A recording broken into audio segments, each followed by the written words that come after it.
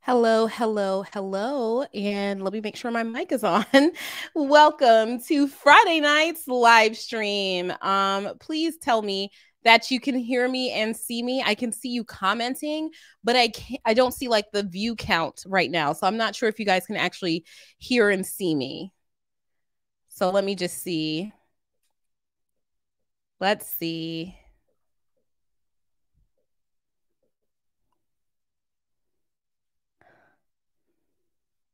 Can you guys hear and see me?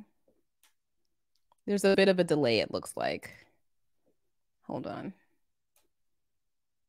Uh-oh.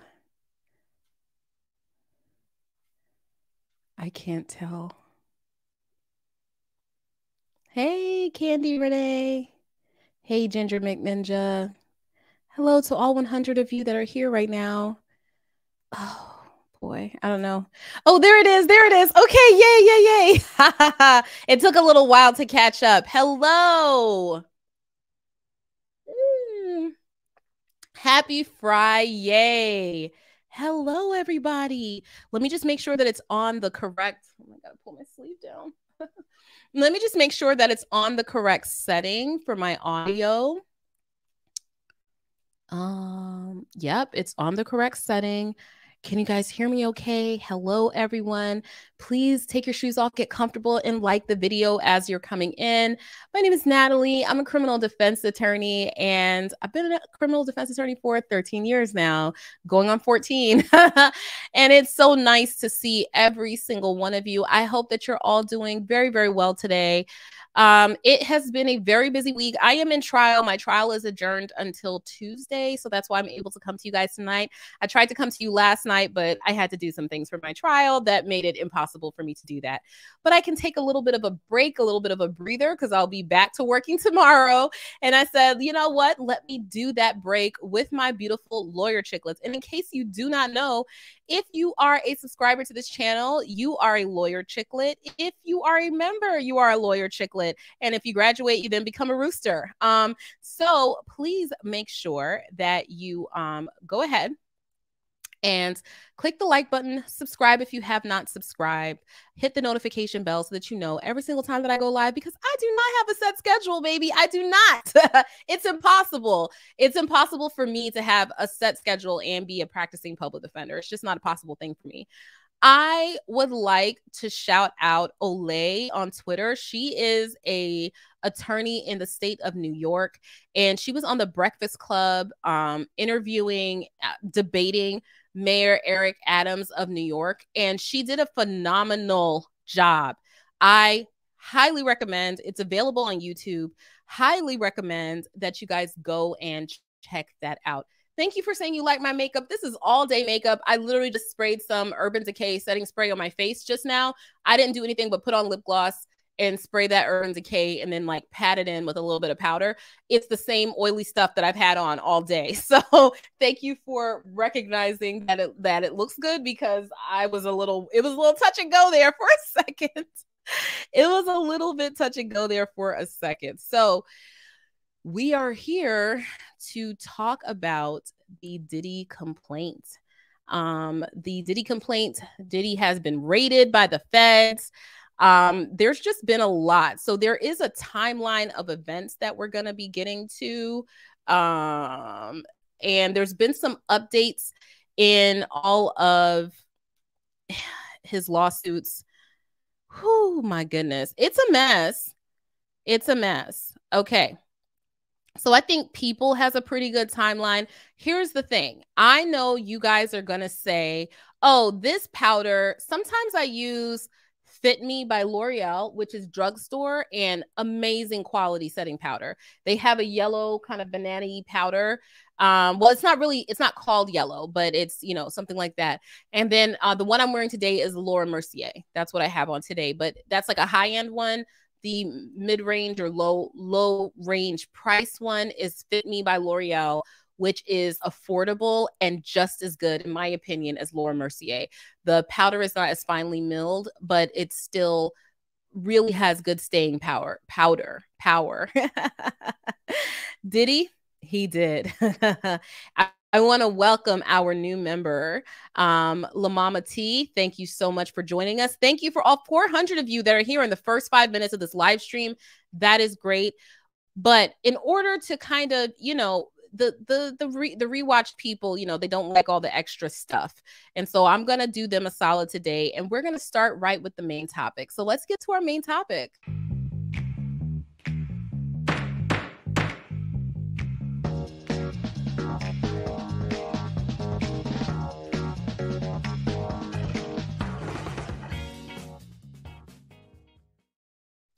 Diddy has been raided by the feds. Okay. His LA and Miami homes have been raided by the feds. His children were put in custody um, because anyone that is present when a search warrant is being um, uh, when a search warrant is being uh, issued, not issued, but served, um, those people are going to be detained uh, so that the officers can make sure that they don't destroy evidence, uh, so that they can make sure that nothing is tampered with, and for the safety of everyone, the people that are present in the home at the time of the service of the warrant will be detained.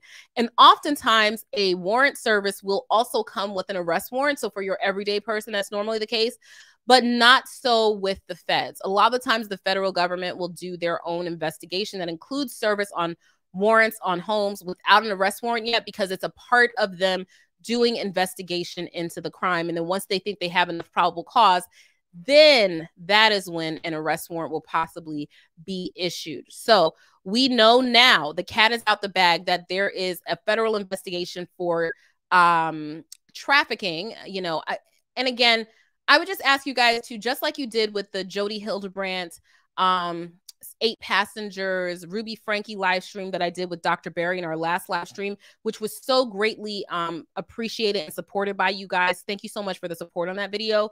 I want to talk in real terms. And so that's going to mean that YouTube is not going to like that. And that's okay. This is their business. They get to run things how they want, but it means, you know, less monetization, which is fine. So I'm just going to ask you to be as supportive you're, as you're able to be. And if not, just your like is enough to support. But let's just say what it is. Diddy is being investigated for human trafficking. Um, it is believed that he takes people across state lines in order to engage in prostitution against those people's will. That is what's being alleged in a lot of these lawsuits. That's the essence of them. And if you take somebody across state lines for the purpose of prostitution against that person's will, you're getting into federal territory because you're crossing state lines in order to commit a crime. The same goes for the Jane Doe lawsuit against Diddy, right? So, Diddy has this lawsuit by this woman that says that they took her from one state, flew her on a private jet to another state. She has pictures of herself at the Bad Boy Studios in the 90s, and that she was then forced to have intercourse with Mr. Harrell and Sean P. Diddy Combs. So we went through that lawsuit. We went through this lawsuit that we're going to be covering the amended complaint of that lawsuit from Little Rod. So let's take a look at the timeline as told by People Magazine. Here's the thing you guys do not like it when I go to certain sources, and I want to say what this is. You don't like it when I use People, CNN. Um, you don't like it when I use Yahoo, even, which is pretty neutral as far as I'm concerned. Fox News, when I've used them as a source, you guys haven't liked that. You're not going to like every single news source that I reference to. It's just impossible uh, because that is the nature of media and all media has a slant unless you're talking about maybe npr and well to me npr is an unbiased and unslanted but other people don't see it that way. I see the associated press as unbiased and unslanted but other people don't see it that way. So uh, people we can agree to disagree and you are free to pull upon your own sources. So that's just a caveat. So also as a trigger warning we're going to be talking about sexual assault human trafficking um uh, you know, things of that nature, drug use. If those things, and I'm going to talk about homophobia at the end of the stream. If those things are something that bothers you, that are going to, it's going to upset you, it's going to make you have a bad weekend, tune out. You don't have to watch this live stream because you don't have to ingest anything that's going to make you not feel good on the inside. We will have another video for you that will be more your speed. So let's keep it going. A timeline of Sean Diddy Combs' sexual assault allegations and lawsuits. So this is the raid happening at Diddy's residence right here. Sean Diddy Combs is facing a number of sexual assault allegations. The f- rapper first made headlines in November 2023. That wasn't the first time he made headlines, but that was the biggest headline. When his ex, Cassie, filed a bombshell lawsuit against him, alleging that the music mogul had sex with her against her will and sex trafficked her over the course of an abusive 10 years. In her complaint filed against Combs in New York, she claimed that she was stuck in a decade long cycle of abuse, violence, and sex trafficking. And we went through that lawsuit that included a 2018 assault after she tried to leave him and multiple instances of domestic violence. The lawsuit also resolved to their mutual satisfaction a day later, which again, record breaking. Never heard of that before. Someone got on me on Twitter. It wasn't a day later. It is. It is a day after the lawsuit was filed. It's settled. That is record breaking. With some alleging Diddy um, of abuse, sex trafficking, and gang assault. On December 6th, Diddy spoke out about the allegations. Enough is enough. Okay. Um, okay.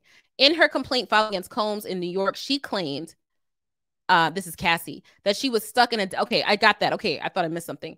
He said enough is enough. For the last couple of weeks I've sat silently and watched people try to assassinate my character, destroy my reputation and legacy. Um sickening allegations have been made against me by individuals looking for a quick payday uh, in March 2024, his properties. And here's the thing: is I'll say this.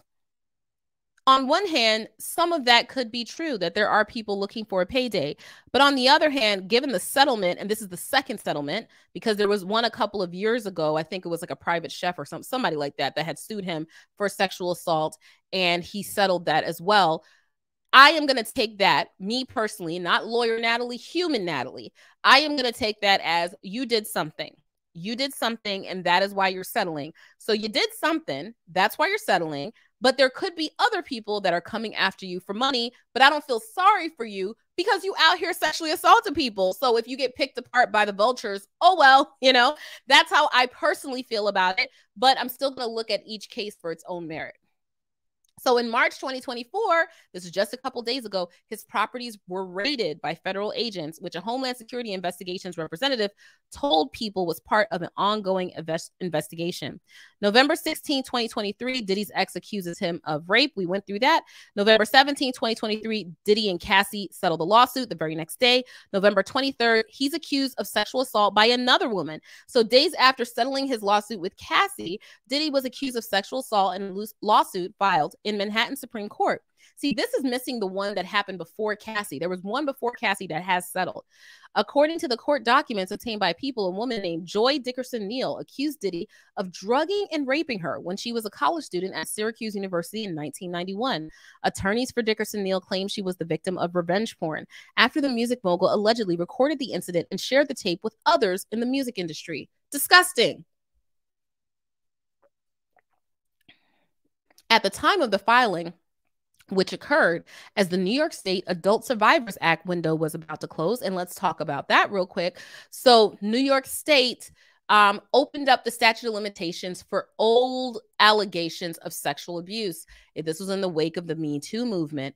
And I think a good thing did come of that. And that was that back in the day, it used to be very, very hard to pursue charges for sexual assault against people. It really, really was.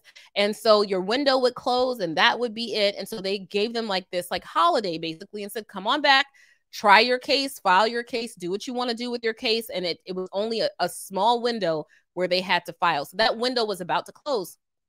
Diddy denied the allegations, claiming Dickerson Neal fabricated the story. This last minute lawsuit is an example of how a well intentioned law can be turned on its head. Miss Dickerson's 32 year old story, it was old, is made up and not credible. Mr. Combs never assaulted her, and she implicates companies that did not exist. This is purely a money grab and nothing else. We went through that lawsuit and in that lawsuit, there were allegations against Bad Boy and things like that. These businesses did not exist at the time. Um, however, she we had Sean Combs starting as the music mogul, and she alleges that he filmed her while he raped her and then distributed the video to shame her to other people. So, uh, whether or not the businesses existed has nothing to do with whether or not, well, I shouldn't say has nothing to do because it could be an issue of credibility, right? But it's not um it's it's not dispositive of the case let's put it that way Then on November 23rd, 2023, Diddy faces a third sexual assault lawsuit that same day. Diddy was accused of sexual assault by a third woman, according to a lawsuit filed by New York County Supreme Court in the New York County Supreme Court. In the lawsuit obtained by People, a Jane Doe, we also went through this lawsuit, alleged that Diddy and singer songwriter Aaron Hall took turns raping her and a friend in New York City more than 30 years ago. And then Diddy said these are fabricated claims falsely alleging misconduct from over 30 years ago and filed at the last minute. This is nothing but a money grab. Because of Mr. Combs' fame and success, he is an easy target for anonymous accusers who lie without conscience and or consequence for financial benefit. The spokesperson added the New York legislature surely did not intend or expect the Adult Survivors Act to be exploited by scammers. The public should be skeptical and not rush to accept these bogus allegations. So, Aaron Hall cannot be reached for content uh, for comment but I will tell you that an update on this lawsuit is that a judge has ruled that this Jane Doe plaintiff must reveal her identity. She must reveal her identity. It is not allowed for her to proceed in this case anymore as a Jane Doe. The judge says that they understood her concerns for her safety, her concerns for her privacy. But if you're going to be filing this lawsuit in a court of public or in a, in a public court, because our courts here are public in the United States, not a court of public opinion, but the public court, that's what I meant to say, um, then she's going to need to reveal her identity. So we'll see what happens with that. I'm not sure if her identity has yet been revealed. I'm not sure if she's going to want to proceed with the case now that she has been told she has to step down. She has to reveal her identity. I was reading and talking at the same time. So November 28, 2023, just a few days later, Diddy temporarily steps aside as Revolt chairman. We don't really need to get into that. December 6th, he is accused of sex traffic trafficking and gang assault by a fourth woman, a fourth woman. In early December, this is the one with Herve Pierre. In early December, Diddy was accused of sexual assault by a fourth victim in a lawsuit filed in New York by a woman under the name Jane Doe. Um, accused Diddy, former Bad Boy Entertainment president Herve Pierre, and the third individual labeled as the third assailant, but that's because she didn't know who they were, of sex trafficking, gang assault when she was 17 years old. This is the one. This is the one where they, she said they flew her out on the private jet. In the filing obtained by People, Jane Doe claimed that Pierre approached her at a lounge in Michigan and convinced her to take a private jet with him and third assailant to Combs' recording studio in New York City. Once she arrived, she alleged she was given drugs and alcohol before being viciously gang assaulted. Now, there is a similarity in all of these narratives. That does not mean that he is guilty or that he did it because these are all public narrative. People could be making these things up. However, the fact that the feds are investigating him to the point where they have raided his home makes me think that where there's smoke, there may be some fire with at least one or two of these plaintiffs. That's just my opinion. However, please remember Sean P. Diddy Combs is innocent until proven guilty in a court of law. He has not been proven guilty of anything, he has not been found liable for anything. He has settled some cases, he has not been found guilty or liable. On December 6th, he makes a statement enough is enough. On February 26th of this year, he's accused of sexual assault by a record producer. And this is the lawsuit that has since been amended. It mentions all type of people now. Prince Harry is mentioned, all type you know, all types of people are mentioned, so on and so forth. This is the one that's now been amended that we're going to be talking about. So he's accused of SA by a record producer Little Rod Jones, Rodney Little Rod Jones, a former producer and videographer for Diddy, filed a lawsuit in New York federal court alleging the rapper previously essayed, drugged, and threatened him while he was working with Combs on his recent Love album. So here is my issue with this lawsuit. If it was only about did he essayed me, did he threaten me, did he, uh, you know, sexually assaulted me, physically assaulted me, or whatever the case may be, then hey, let the courts figure it out. Let the justice system do its job. I'm all for it. It's the salaciousness of the details of things that are not relevant to the ultimate claims. There are things that he's claiming in the lawsuit that he could never recover for. So that means he could never be the plaintiff for those things. Other people would be the victims of those things. And so it seems like he wants to just get those salacious details out there in order to pressure Diddy into settling the case. And that is unseemly to me. And I've always felt that way about it. I just don't think that's how an attorney should handle a lawsuit. However, that doesn't mean that what he's saying is not true whoop, but makes me question some of the stuff. So then, March 25th, 2024, Diddy's home is raided by federal agents.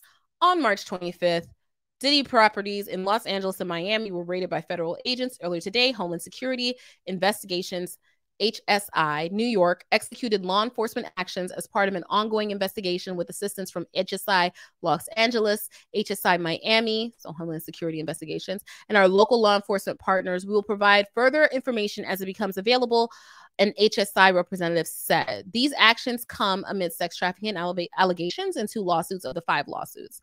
If you or someone you know has been sexually assaulted, please contact the National Sexual Assault Hotline at 1 800 656 HOPE or 1 800 656 4673. And so, or go to R A I N N dot org. That's rainn.org. I am sharing that message as well because I know that a lot of these types of things can be very, very triggering. So please do me a favor, do yourselves all a favor, and uh, seek counseling, help, and therapy if these types of topics are very, uh, you know, difficult for you. Okay.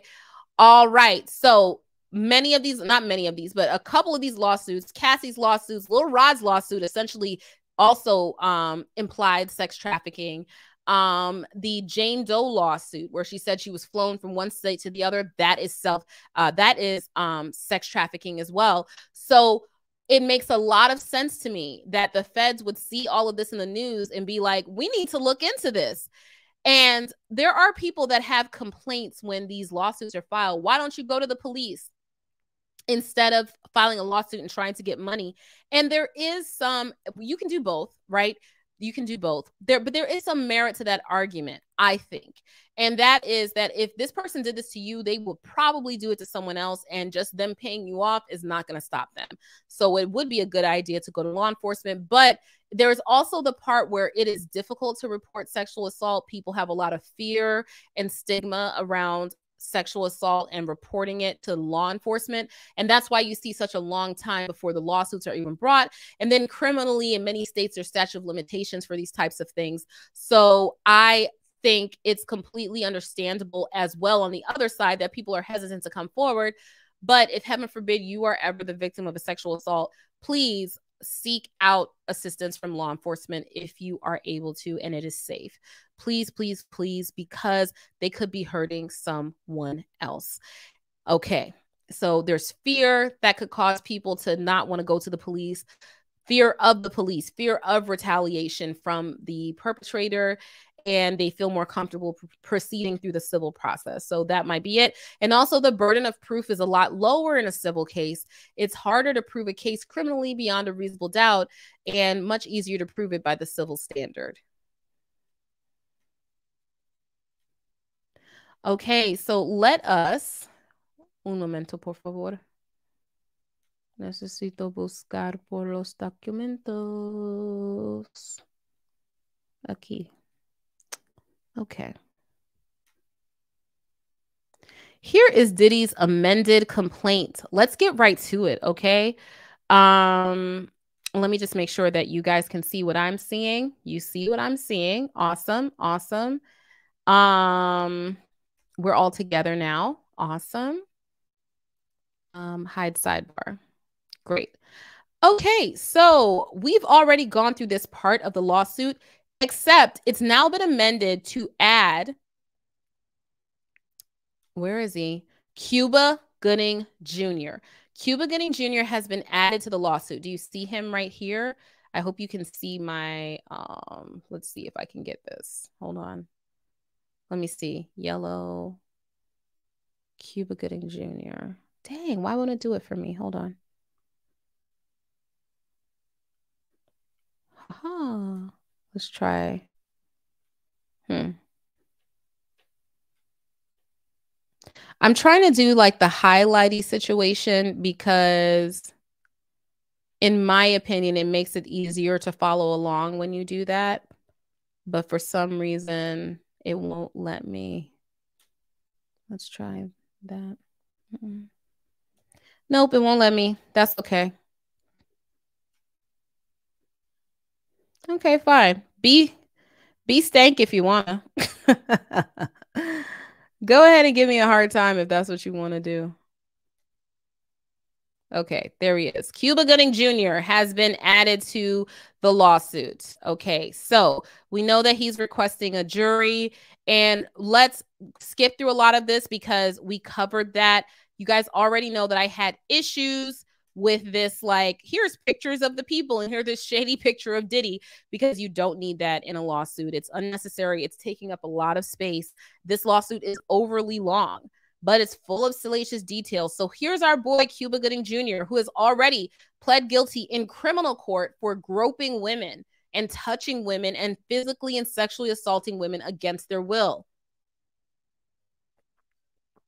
As I've told you, I've been in contact with one of his victims for which he, and I say victim because normally I wouldn't do that. I would say alleged victim, complaining witness, something like that. But he has pled guilty to assaulting her. And so apparently, from what I understand, he has a history of going around and groping women. Okay, so here we go. Hold on one second. Yeah. I agree. Yeah. so, upon information and belief, defendant Cuba Gooding Jr. is domiciled. Oh, and the other thing was them putting their not redacting their, you know, whatever. Okay. So, anyway, that's Cuba Gooding Jr. He has been added to the lawsuit. So, let us go forth and see some of the things that were amended and added. So we all know that Lil Rod was a child prodigy and all that stuff. I always thought that that was, you know, excessive things. In addition, he said that he witnessed the aftermath of a shooting, which I guess could go to emotional distress, and he was forced to lie and say, um, you know, and and say that the the the the shooting didn't happen where it happened. Um, we know that he alleges that Mr. Combs attempted to groom Mr. Jones into engaging in gay sex. We've already gone through that before. But as a matter of fact, let's let us read this one more time because this is the most some of the most salacious parts of the lawsuit and I have so much issue with it and if you haven't gone through our last live stream where we covered this last month, you might not know. Mr. Combs knew Mr. Jones looked up to and idolized music producer Steven Aaron Jordan, Stevie J. Based on information belief, Oh, this is the crazy part. So he was like, "Oh, he showed me um porn of Stevie J and he knows that I look up to Stevie J and he was trying to say that because Stevie J is engaged in gay porn, I should have sex with him." Well, guess what? The screenshot that you showed of Stevie J engaged in gay sex is not Stevie J. It's an actual gay um adult film star, right? And we talked about that in the last live stream. So let's see if they amended anything to correct for that massive mistake. Mr. Combs attempted to groom Mr. Jones into engaging in gay sex. Mr. Combs knew Mr. Jones looked up to and idolized Stevie J. Based on information and belief, Stevie J is an American DJ and record producer and television personality. And it's a lot of name dropping for no reason. Based on information and belief, Stevie J was part of Bad Boy Records and, and The Hitmen. Upon information and belief in 97. This like my client told me this. I don't really know. It's just what my client tells me upon information and belief. In 1997, Stevie J won a Grammy. Doesn't matter. Upon information belief, throughout the 90s, Stevie J produced several artists. Mariah Carey, see, you Mar- Mariah Carey and Do Nothing to You, Tevin Campbell and Do Nothing to You, Notorious Big B.I.G. is dead. 112, Done Nothing to You, Jodeci, Done Nothing to You, Faith Evans, Done Nothing to You, Jay Z, Done Nothing to You, Eve, Done Nothing to You. But you want to make sure that you mention them in this lawsuit so that it basically creates this fervor like, oh my God, look at all the people that were mentioned in this lawsuit. He just puts their names in here to say Stevie J produced music for these people. How is that relevant to you being assaulted by Diddy? This is not even my issue with Lil Rod because if Lil Rod was assaulted, you know, I'm behind him seeking justice 100%. Men can be uh, victims of assault and sexual assault just like women can, and it happens, right? A lot of times they're afraid to come forward, but I don't like the uh, way the attorney is making this lawsuit so salacious for something that is so serious. I think it should be treated a lot more formally than this. Okay, so that's what I'm saying. So, based on information believed, Stevie J was one of the producers of the Love album. According to Mr. Jones, Mr. Combs used access to Stevie J and his knowledge of Mr. Jones' admiration for Stevie J to groom and entice Mr. Jones to engage in homosexual acts. Mr. Combs went so far as to share a video of who he claims was Stevie J. Aha! Aha! All right. So we have got um okay, I don't want to redact anything. Let's not do that. Sorry. We have got um this gentleman saying that Stevie J um, was engaged in, in gay sex in this video. It turns out it was not Stevie J. So now we have a footnote Let's see what the footnote says, right? Nine, footnote number nine. The writer is in possession of the video and will provide a copy to the court. It is not Stevie J in the video. It is not. It is not Stevie J in the video. This is driving me crazy. And by now, he should be saying, We're in possession of the video. Okay, here we go. Upon information and belief, this is new. Stevie J denies that he is the person in the video. A male porn star claimed that he was the black male in the video.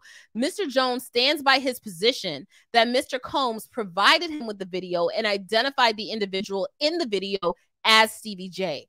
Okay, so here's what he's saying here. Let's be fair.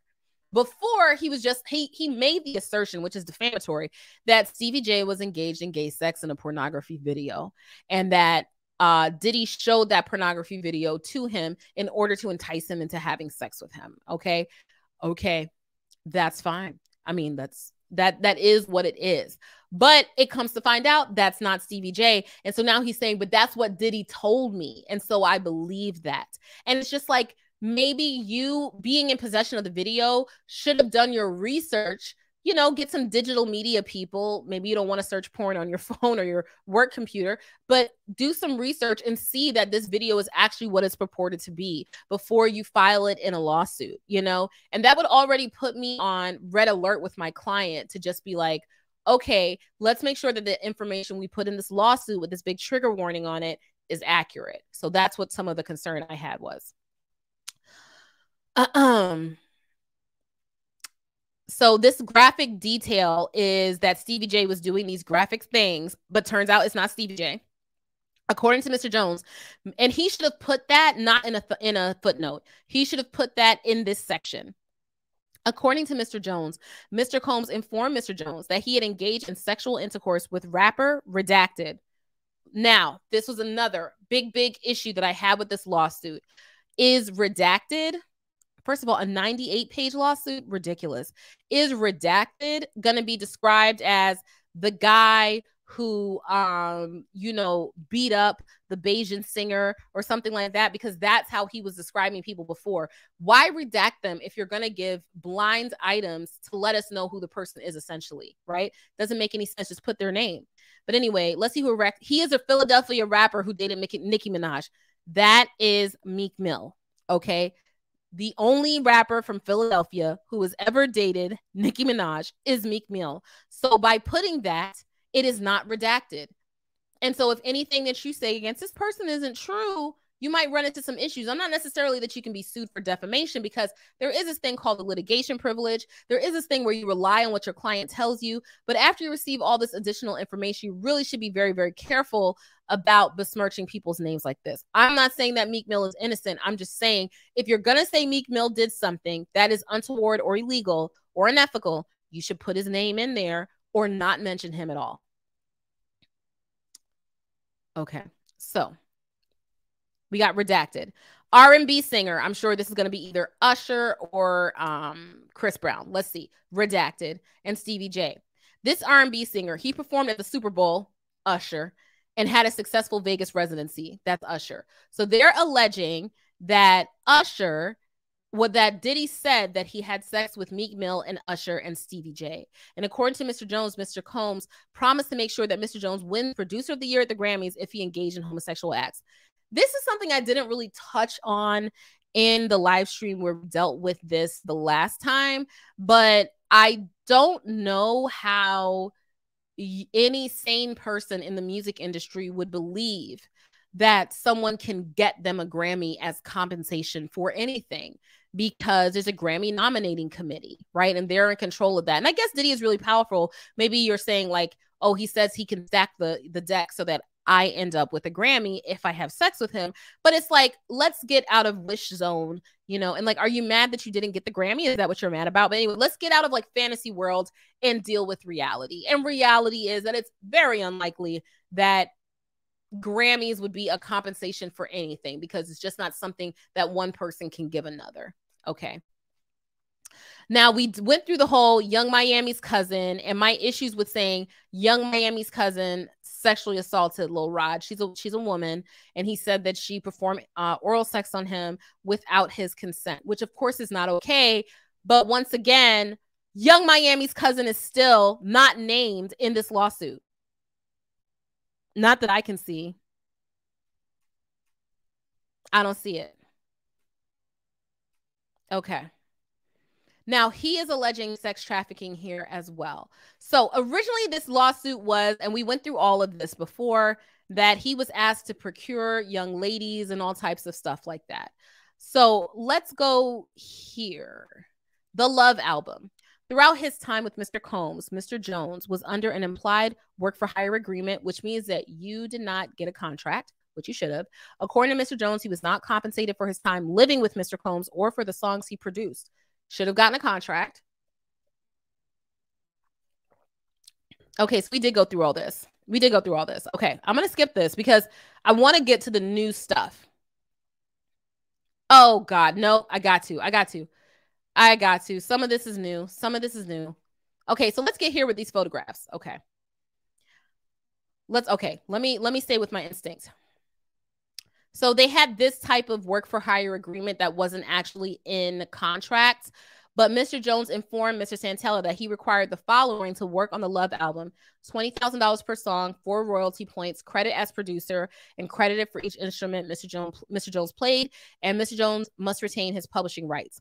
According to Mr. Jones, they agreed to the terms detailed above after meeting with Frankie Santella. I hope you have the actual contract. Mr. Jones met with defendant Combs, who further reiterated and guaranteed that the above mentioned terms were accepted. So this is like a breach of contract thing. As a result, Mr. Jones began working on the album. Uh, one second. This is him saying that he was assaulted by Cuba Gooding Jr. Cuba Gooding Jr. forcibly touching Mr. Jones on Mr. Combs's yacht. And we already know Cuba Gooding Jr. doesn't know how to keep his hands to himself. And I am comfortable with saying that because he has been convicted and pled guilty in a court of law for sexual assault for touching people against their will. So this guy is saying, Lil Rod, that Cuba Gooding Jr. touched him in a sexual way against his will. Okay. We'll see.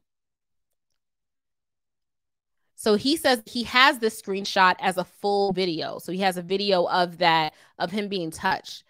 Mr. Gooding Jr. has a storied history of sexually assaulting and forcibly touching individuals against their will. Women, yes, but again, it doesn't mean that you can't cross over. You know, a sexual assaulter, you know, who knows what limits and boundaries they actually have, but still. As evidence, he was listed as a producer for the following songs Deliver Me, Stay Part One, Reaching, What's Love, Stay a While, Moments, Need Somebody, Homecoming, and Tough Love. Mr. Combs and defendants, LRMR and UMG, benefited from Mr. Jones's work product. They failed to compensate Mr. Jones for his work. Again, verbal contracts are contracts, but they're harder to prove in court because you need to have some type of extrinsic evidence of that contract, you know, either from like the performance or, you know, prior payment or something like that to show that this verbal contract actually existed. I am very surprised that we are dealing with the music industry here and Puffy well, you know, I'm from the 80s and 90s, so I call him Puffy still in my mind. But P. Diddy or Diddy or whatever, Love, whatever his name is these days, um, is notoriously a shady businessman, allegedly within these streets. And so to enter into a business contract with him and not to get a written contract is very, very strange to me. But we'll see what the courts bear out. I could see this going forward. According to Mr. Jones, he attempts to work with Mr. Combs to secure his publishing and royalty rights for the work he completed. Mr. Combs only offered Mr. Jones $29,000 for 13 months, thousands of hours of thousands of hours of work and nine songs that made it to the Love album. Mr. Jones was willing to take $50,000 his publishing and royalties, Mr. Combs' self serving greed would not allow him to pay Mr. Jones an additional $21,000. We already knew that he was complaining about this. But once again, I want to see that these terms are in writing. It doesn't mean that the contract didn't exist. It just makes me a little bit more skeptical. Mr. Combs' deceptive business practices became so bad that Jones was left with no choice than to make a public plea on social media for Combs to pay him for his work. After publicly requesting that Combs do the right thing and pay him fairly, Jones received an onslaught of threatening messages from Stevie J and Love Records A&R um, DeForest Taylor, 19.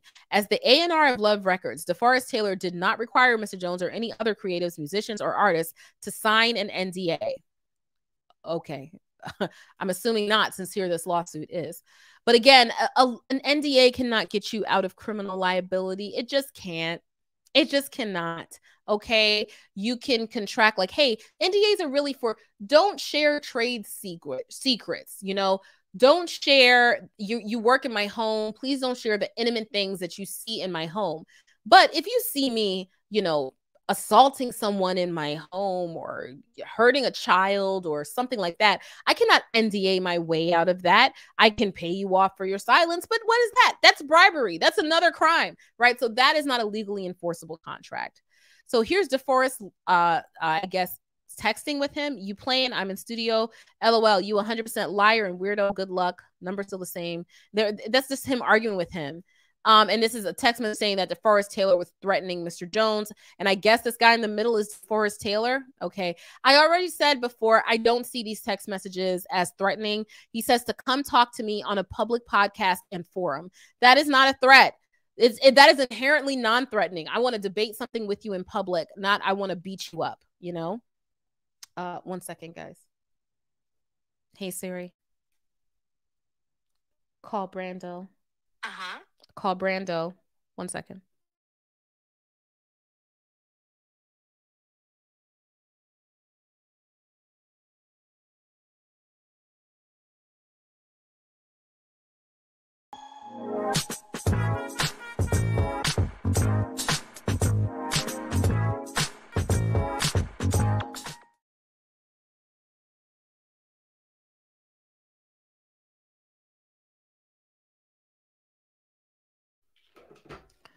Okay, we've hit 1,000 viewers in this live stream. Hello to all 1,000 of you. Thank you so, so much for rocking with this channel. You guys are amazing. All right, let's keep it going. So now I am comfortable to go down a little bit.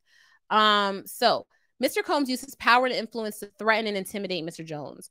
Combs is a is very okay. We already know this. We already know this. Um, he's like including every bad thing that's ever been said about him every bad thing that ever been thing. Okay, so this is um his enforcer Fahim Muhammad. Um, okay.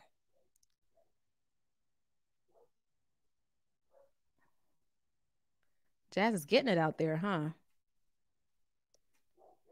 Okay, I think the original. Oh, wait, one second.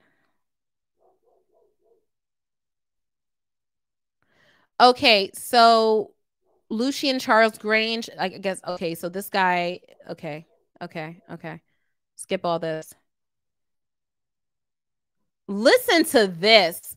Defendant Kristina Khorram is the uh, Ghislaine or G- I think it's Ghislaine, Ghislaine Maxwell to Sean Combs's Jeffrey Epstein. According to Mr. Jones, during the 13 months he lived and traveled with Mr. Combs, he witnessed Mr. Combs display and distribute guns from his bedroom closets in Miami, Florida. See, this is just what this is right here is like, you didn't want to pay me, I got you. Because this isn't even allegations of anything he's done against Lil Rod. And this is probably what got the feds interested. So, him putting Combs next to uh, Epstein and Ma- Maxwell is very, very interesting choice. This is for the public. This is not for the lawsuit. According to Mr. Jones, during the 13 months he lived and traveled with Mr. Combs, he witnessed defendant Khorram openly order her assistants to keep Mr. Combs high off gummies and pills. Defendant Khorram required all employees, from the butler to the chef to the housekeepers, to rock walk around with a black Prada pouch or fanny pack filled with cocaine, GHB, ecstasy, marijuana gummies, and Tucci, a pink drug that is a combination of ecstasy and cocaine. Child, and let me tell you something. When this thing dropped, when this thing dropped, I am telling you, let me let you see my face. I'm telling you right now, and I'm wearing pink for the pink cocaine. I had never in my life heard of pink cocaine. And that's not because I'm Pollyanna and naive. I've heard of all types of drugs. You have to remember, I'm a criminal defense attorney. I have clients that are charged with possession of various types of drugs. Okay. And so throughout my career, I've heard of all types of drugs. I ain't never heard of no pink cocaine ever, ever in my life. Okay. Never. And I was like, okay, this guy is making this up. And then I did some research. No, he's not. he is not making it up. It is real. So we've got Walter White's Blue Meth and we got Pink Tucci. Well, Tucci, we got Pink Tucci out here. Who knew? This is really dangerous. Actually, this concerns me a lot because, you know, you know, uppers and ecstasy and things like that, they're not very good for your heart. And I'm not anti drug, okay, but I'm anti young people who are not fully informed taking drugs. And this looks too much like candy for me. And that really, really concerns me. I hope this does not get big on the streets. But you know, once it's mentioned, people are going to want to try it. And I'm really concerned about that. So, according to Mr. Jones, defendant Khorram wanted Mr. Combs' drug of choice immediately ready when he asked for it. According to Mr. Jones, defendant Khorram ordered sex workers for Mr. Combs. On one occasion, she sent Mr. Jones a text message requesting he call a particular sex worker we have the message. According to Mr. Jones, defendant, and again, that got nothing to do with you, but it's salacious details that everyone is here to hear because they're so interested in this crazy lifestyle that Sean P. Diddy Combs lives. Here's my thing. If you are wealthy and you have the ability to access as many drugs as you want to your heart's content, I don't care. Honestly, I do not care. If you get to have sex with as many people as you want to to your heart's content, don't care. I do not care. My problem, my concern is when things are non consensual. Are you administering drugs to people who don't want it? Are you having sex with people who don't want to have sex with you? Are you making people engage in sex work who do not want to engage in sex work? That is what my issue is. As long as everyone is consenting, and I know that everyone does not agree with that. Some people morally are against that type of lifestyle, but it's I I can recognize that something is not personally for me, but I am not morally against it as long as you're not hurting anyone. And what I don't understand about these allegations is if they are true, why why would Diddy uh, uh jeopardize his wealth, his diminished but reputation. He has a reputation, his influence and his power, everything that he's built up over the course of almost 40 years. Why would he jeopardize that by doing things with people non consensually when he has the ability to find the people that are interested in the things that he's interested in and would really enjoy to take unlimited drugs and have unlimited sex and have sex with other people and and uh, engage in sex work. There are people out there who willingly want to do those things. And so, what I think to myself is someone who has all of the power and the control in their lives, but still must seek out those who cannot resist them and still must subjugate and hurt people. There is something seriously wrong with them. I'm not saying Diddy is guilty. I do not know one way or the other. I am just saying that if these allegations are true, that is the di- that is the symptom of a sick mind in my opinion because he has everything at his disposal so that he can live out all of his fantasies consensually. And yet he is allegedly forcing people to engage in activities that they don't want to. However, what he is, Lil Rod, is detailing right here, these are. I sh- should stop messing with this uh, mic boom or whatever this is called. Um, but anyway, the the what he is alleging right here is behavior from Diddy that in this particular part right here is consensual. So if it's consensual drugs, consensual sex, and it's not being put on you, I don't see how it's relevant to this particular lawsuit. So I always come back to that. How is it relevant? How does it help to advance the case?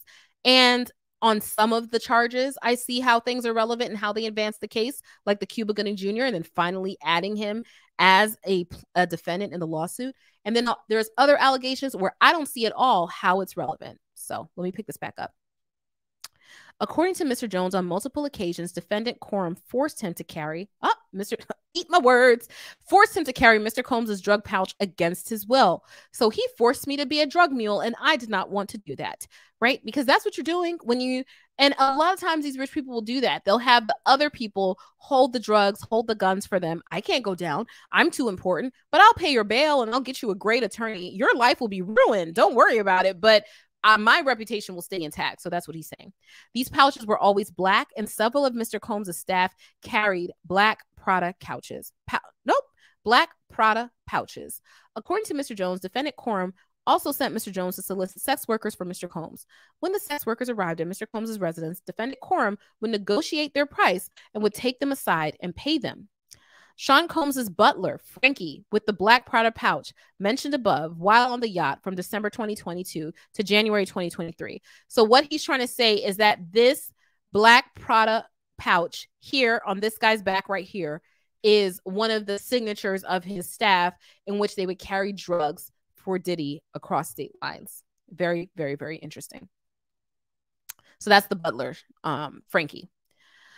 As the chief of staff, defendant Khorram was instrumental in organizing and executing the RICO and TVPA enterprises. So he is alleging that they are engaged in RICO enterprise racketeering. Stevie J. Stevie J recruits sex workers and attends and participates in freak offs. Once again, here's the thing Are the sex workers consenting? If they are, I personally don't care. But the law might care. The law enforcement might care if these things are illegal. It's only a limited amount of states in which prostitution is legal and only in designated areas in those states. So, for the most part, in almost all states, almost all states, prostitution is illegal. And it is certainly illegal to take people across state lines for the purpose of prostitution. So, that could be an issue uh, criminally, but that particular uh, point, bullet point A, um, is not an issue really in this lawsuit because it doesn't really impact this plaintiff. Justin Combs, the son of Sean Combs, um, solicits prostitutes, underage girls, and sex workers would engage in freak offs. These freak offs are what was alleged by Cassie, in which she said that Sean Combs would hire male sex workers to have sex with her and he would watch and he was in particular interested in them being black male sex workers with large penises and that he would watch this happen we're just talking in real terms here people real terms so please support because i'm not sugarcoating anything i'm just every single day at work I, I have to you know speak in plain language it's really hard for me to then come here and speak in abbreviated terms. And this stuff is serious, and I think we should give it the seriousness it deserves. So, Brendan Paul works as Mr. Combs' mule. He acquires and distributes Mr. Combs' drugs and guns. Brendan Paul and Mr. Combs. This is Brendan Paul. This is Mr. Combs. Frankie Santella works alongside Brendan while Brendan acquires and distributes Mr. Combs' drugs and guns. Frankie carries the money and pays for the guns and drugs. I just want to say that um, syntax wise, this entire sentence, oh, there is the freaking highlighter. This entire sentence is poorly written. All right. This is not how you write a sentence in a lawsuit. Okay. We have a video of Mr. Combs, Stevie J, and Plaintiff Jones at a strip club.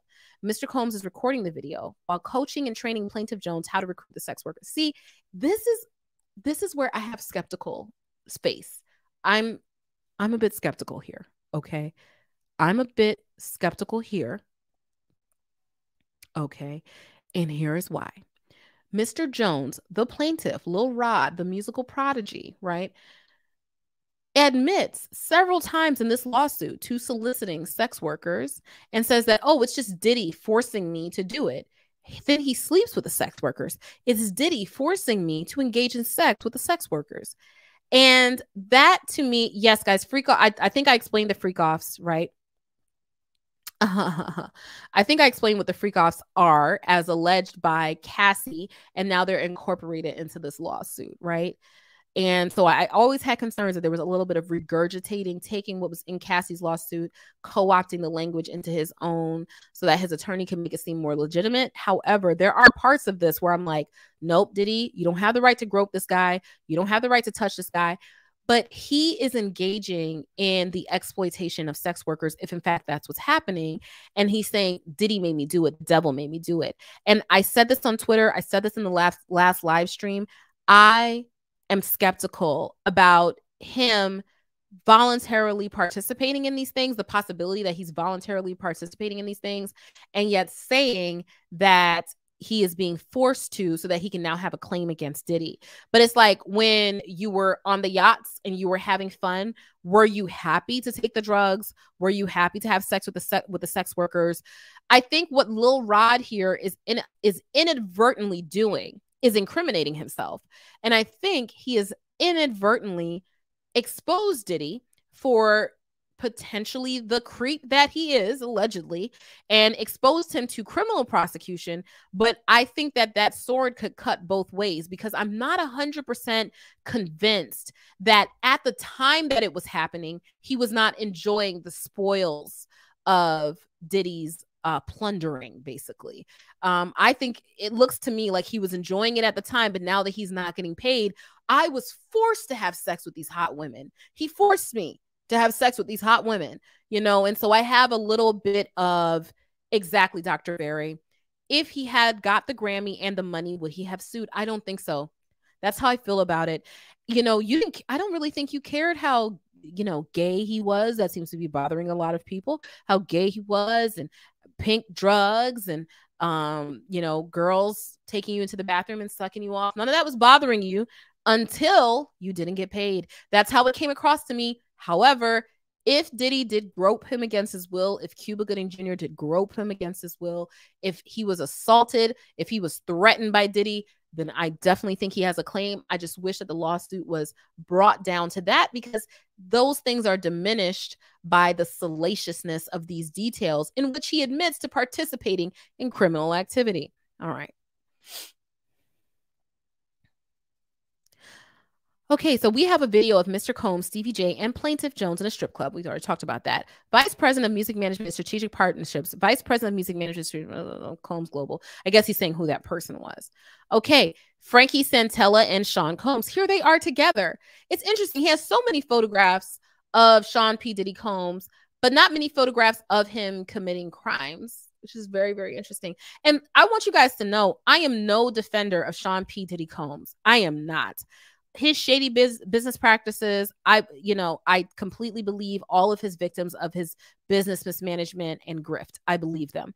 I believe uh the female victims who he settled with i believe them. And i think that the court will deal with the ones he has not settled with and we'll see what happens there. So it's not a outside the realm of possibility that he did all of these things. I just think i see another opportunist in the mix and to me it is the plaintiff Moy Bond hires sex workers, attends and participates in freak offs. I don't know what these dogs are doing. I want to let you guys know I've got two I've got two dogs and a cat and a husband. and uh, Jazz and uh, DJ are my dogs and my cat, our cat, our dog our cat is Susie. Susie is 20 years old. DJ is four. Jazz is over a year. She's like 18 months now, right? Not even that old, 14 months. So she's a year. And Jazz has been wanting someone to play with because Susie does not want to play with her because Susie is an old lady and she's she's a queen. She doesn't want to play rough. DJ was in his shell when we first got him, and he has now come out of his shell and he's a little chihuahua uh mix with like cocker spaniel and him and jazz is a border collie so she's much bigger than him. And they go at it every single day. They've got the zoomies. Ever since dj like came out of his shell they get the zoomies together. They turn up and it makes me so so happy. Maybe i'll be able to show you guys the video at the end of the stream. But if you hear any little rum, rum, rum, that's them like running around and playing with each other. They're having so much fun. No dogs are being injured. They are having a good time. Trust me. And they don't like it when we separate them. So they're they're becoming a, a, like a bonded pair. They're very very happy together. Okay. So this is Moy Bond. He hires sex workers and attends and participates in freak offs allegedly. Moy Thanksgiving 2022, when Mr. Combs offered Mr. Jones cocaine. Okay, here's the thing he offered you cocaine. Is that something to sue for? I don't know. I don't know if offering someone cocaine or coming onto them sexually is enough to sue. Touching you against your will after you say no, that is enough. Forcing you to take drugs, that is certainly enough. But just saying, hey, you want some of this cocaine? We're all having a party. Is that something to sue for? Uh, uh, let's think of it as as wine. Maybe you're recovering alcoholic. You're at an event and someone offers you alcohol. That might be offensive to you, but is that something to sue for? If someone tries to pour the alcohol down your throat, we're assaulting you now. So clearly, that's something to sue for. So that's that's kind of like what some of my issues are. According to Mr. Jones, Mr. Combs funded and used his affiliation with local gangs and gang leaders. Let's look at this thumbnail Plaintiff has intentionally left the names and images of these individuals out of the pleadings out of fear of retaliation. Fear of retaliation. He will provide the information to the court under seal or in camera. So, under seal just means, hey, look, there's the possibility that if I were to tell you about this, I could be harmed. And so I don't want this to be for public consumption, but I do have evidence to back this up. And this is just the initial pleading. It doesn't, it's not discovery. It does not have to have all the evidence. In fact, this this filing has way more evidence than a lawsuit should have. Way more evidence than a lawsuit should have. It's just ridiculous, right? And so it's okay. That's totally fine to say, I don't want to give you that information right now, but upon information and belief, what my client tells me, what I believe based on my client has told, what my client has told me, these facts have occurred. Um, these gang leaders would frequent his homes in LA and Miami to secure the drugs and guns. And what homes got raided? The homes in LA and Miami. I wonder if Diddy still has his house in the Hamptons. He used to have a house in the Hamptons but um and that's where he used to throw his white parties when i was living in new york. That was like a big thing like the diddy white party. Everybody knew when that was happening. None of us had any access to it whatsoever. But like you know the old school online blogs would always post how people would dress and stuff so his i don't know if he still has that home but the la and miami homes are mentioned here and that's what gets raided by the feds. To secure the drugs and guns he obtained and distributed out of his homes in LA and Miami. According to Mr. Jones, defendants executed their RICO and TVPA enterprises with threats of violence. Threatening, okay, so here we go. This should not be in bullet point number 187 and page number 39 of a lawsuit that someone threatened to eat your face that threat is actionable. You know, threats, harassment, assault, all of those things are actionable. You can sue for those things. And it, you don't get until page 187. We have to wade through all these allegations about gay sex between consensual adults or sex with sex workers where you're not showing that these sex workers are being told to do anything against their will or you're alleging that they were trafficking uh, across state lines but you're saying you participated in that trafficking finally, this is something where you are a plaintiff, this and Cuba Gooding Jr., and it takes page 100, I mean, bullet point 187 for you to get there. There used to be this law firm that I worked for, and the supervisor, the supervising attorney was extremely tough. And but I learned something from him. And one of those things was do not bury your most important uh, fact in your lawsuit, in your claim, in your in your brief, in your motion, all the way in the middle or down at the bottom. Everyone is lost by then. No one's paying any attention. Bullet point 187. Come on. This is bad lawyering. Anyway, defendants executed their RICO and TVPA enterprises with threats of violence, threatening to eat plaintiff's face, displaying and distributing guns in plaintiff's presence, bragging about having law enforcement under control, bragging about murdering people, bragging about bribing witnesses and jurors in the criminal case. So this could be a judge could find this part to be relevant, right? Oh, include uh so he bragged about bribing witnesses and jurors in the criminal case concerning the 1999 New York City nightclub shooting with Shyne. So there was this rapper named Shyne. Um, he was like this like slim light skinned guy. I think he's now a Hasidic Jew, and I think he's from Belize. Anyway, he was a slim light skinned guy, and he rapped like Biggie. And um, he had this like kind of like one hit wonder type song. He was under Diddy, uh, under Bad Boy Records, Puff Daddy, whatever. And there was a nightclub shooting in which Diddy was involved, but Shyne took the rap. Um, and they said that Shyne was the shooter. And there's always been questions about whether or not Shyne was actually the shooter. Shyne got deported as a result of it. I don't know, but I, I'm pretty sure he and Diddy have mended fences recently. But I know he was angry with Diddy because they said essentially he went down for Diddy. Um, and so they're saying that Diddy paid off jurors in the criminal case. He bribed witnesses. Now, I don't know why he would have done that if Shyne was actually convicted. Did he want him to be convicted? I don't know. But anyway, that is not a rumor that is that is new to Mr. Jones. That is something I've heard before in the, you know, gossip streets, right? I am not an informed person. I don't know any of these celebrities. Thank God. I don't know any of these people, but I'm just saying that this allegation that's what he's talking about Shyne is that rapper who took a charge of in a nightclub shooting for, for diddy it was diddy was a suspect but Shyne was convicted. Okay. And so I could see a judge saying that if you're saying that Diddy threatened you, threatened to eat your face, uh, assaulted you, hit you, whatever the case may be, sexually harassed you, right? Because that's uh, that's what he's alleging, sexual harassment from Diddy, right?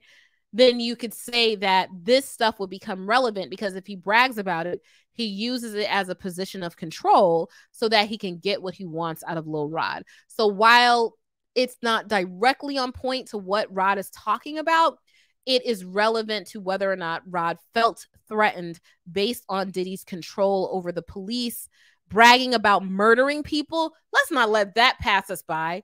Bragging about murdering people? I mean, goodness gracious.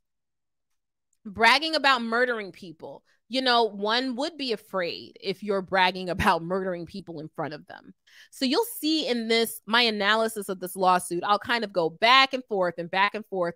And that's just because I'm looking at the case fairly. There are some good points that Lil Rod makes. There are some stupid points that Lil Rod's attor- attorney, Lil Rod's attorney makes. And this is actually good points right here. According to Mr. Jones, that's Lil Rod, defendants executed his RICO and TVPA enterprise with threats of isolation from the music and entertainment industry. Gross and balls. Gross and balls on that one. Sorry. Threats of isolation from the music industry. That's how the music industry works.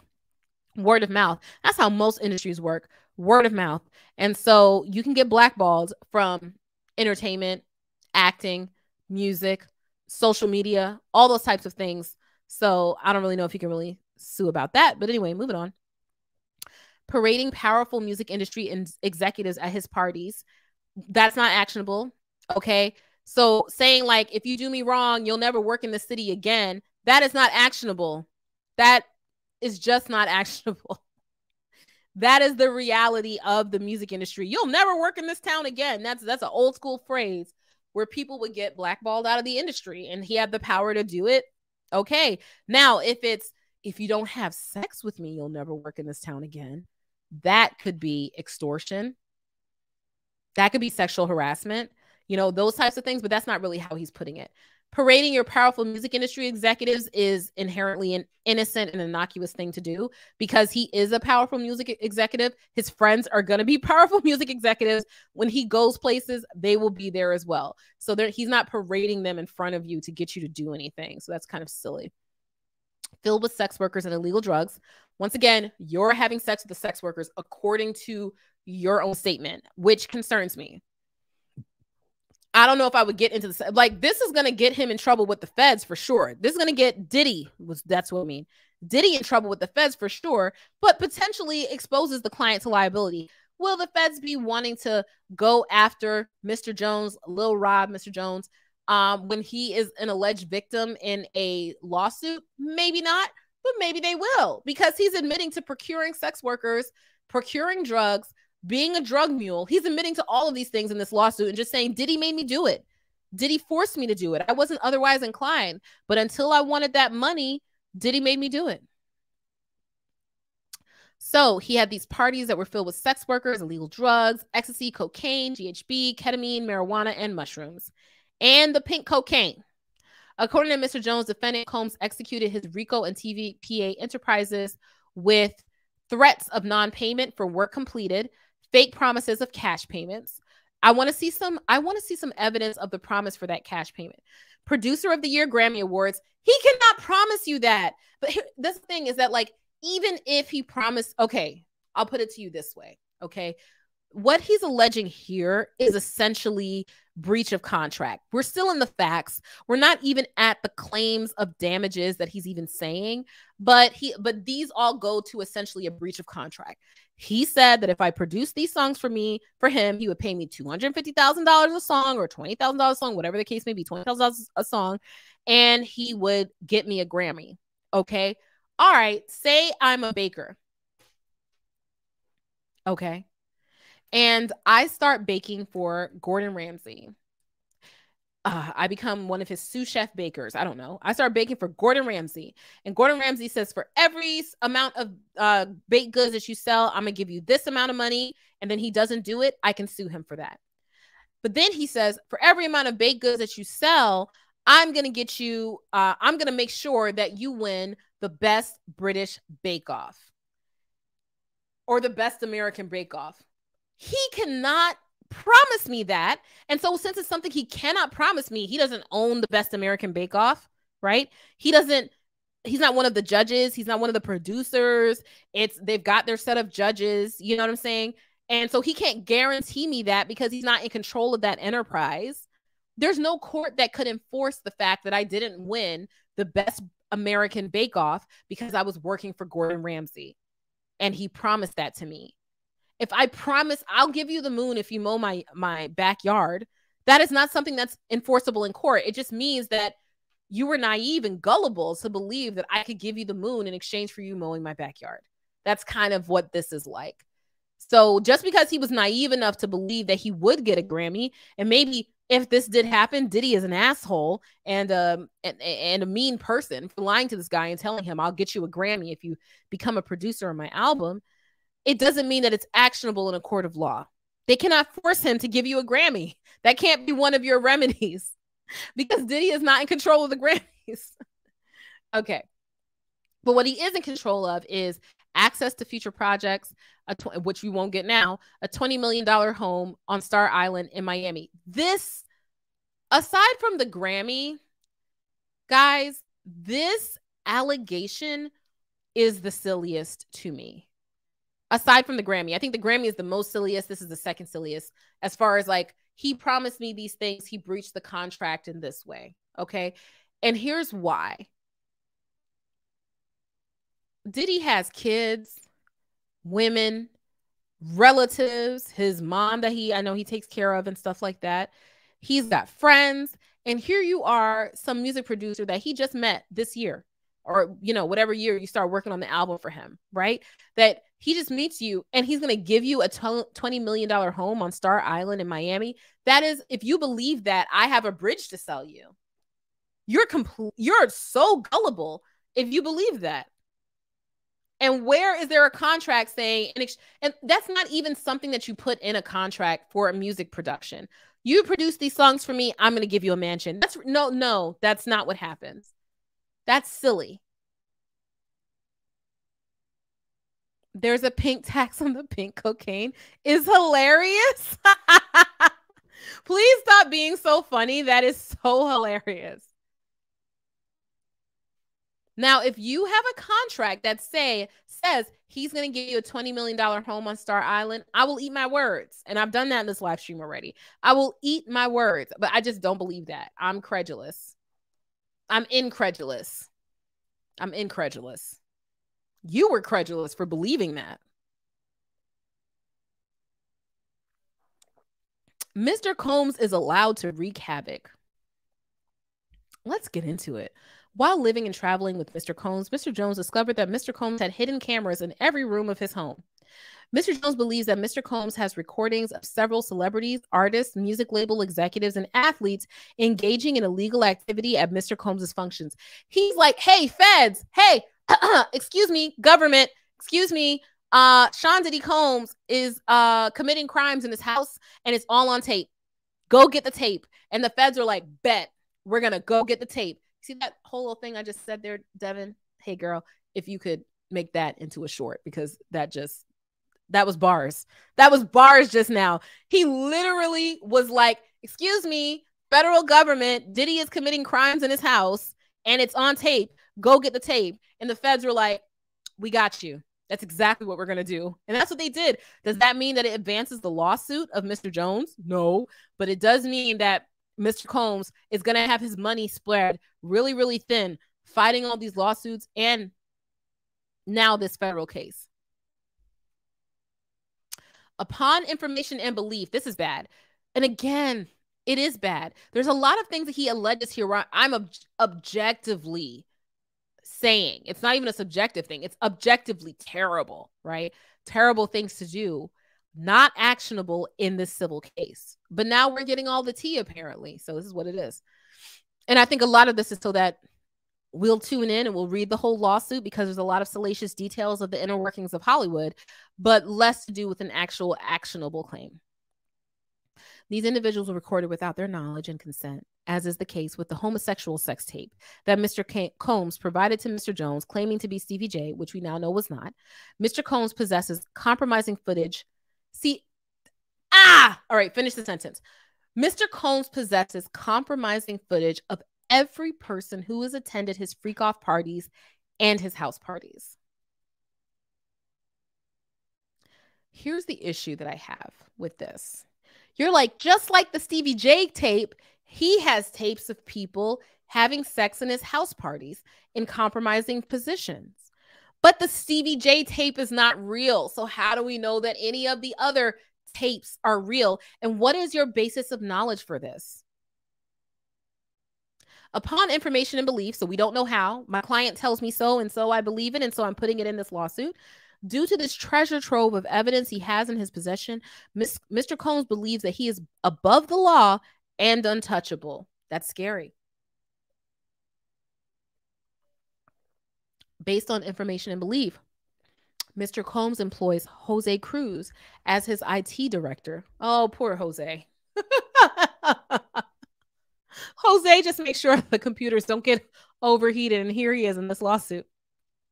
This writer has spoken to several former employees of Mr. Combs who confirmed that Jose Cruz is the gatekeeper to all of Mr. Combs' there weren't many spelling mistakes in this, so I'm not going to be mean. Mr. Combs's recordings. Upon information and belief, Jose Cruz intentionally hides behind the camera and from social media and the internet due to all the incriminating acts he was required to record for Combs. If the incriminating acts are not known to the general public, maybe the guy just does not like social media. That's kind of silly. I guess he's showing that he has the guy's Puffs Tech guy, Callie. Like he just has his information. Defendant Okay, move on. Defendant Mr. Combs hired private investigator Russell L. Green to seek out, harass, and bribe individuals to provide dirt on Mr. Jones. Ooh, dig into this. On or about March 2nd, 2024. Uh huh. So, you know, like compromise. You're trying to find some compromising information on the plaintiff to try to get him to withdraw the lawsuit or to settle. Interesting. Mr. Jones was informed by a close friend from his church that Mr. Combs' endager, endager engineer, Matt Testa, provided an individual's phone number to Los Angeles based investigator Russell L. Green. It's Russell Green gave me your number. Are you available to speak with me? Hey, I can chat in a couple of hours if that's cool. Sounds good. I'm at an event from 3 to 5, so I'll be able I'll be available after 5. I'm on the West Coast. Where are you? I'm in Los Angeles. I can talk at 1:30 as well. Okay, you available now to just call me? Yes.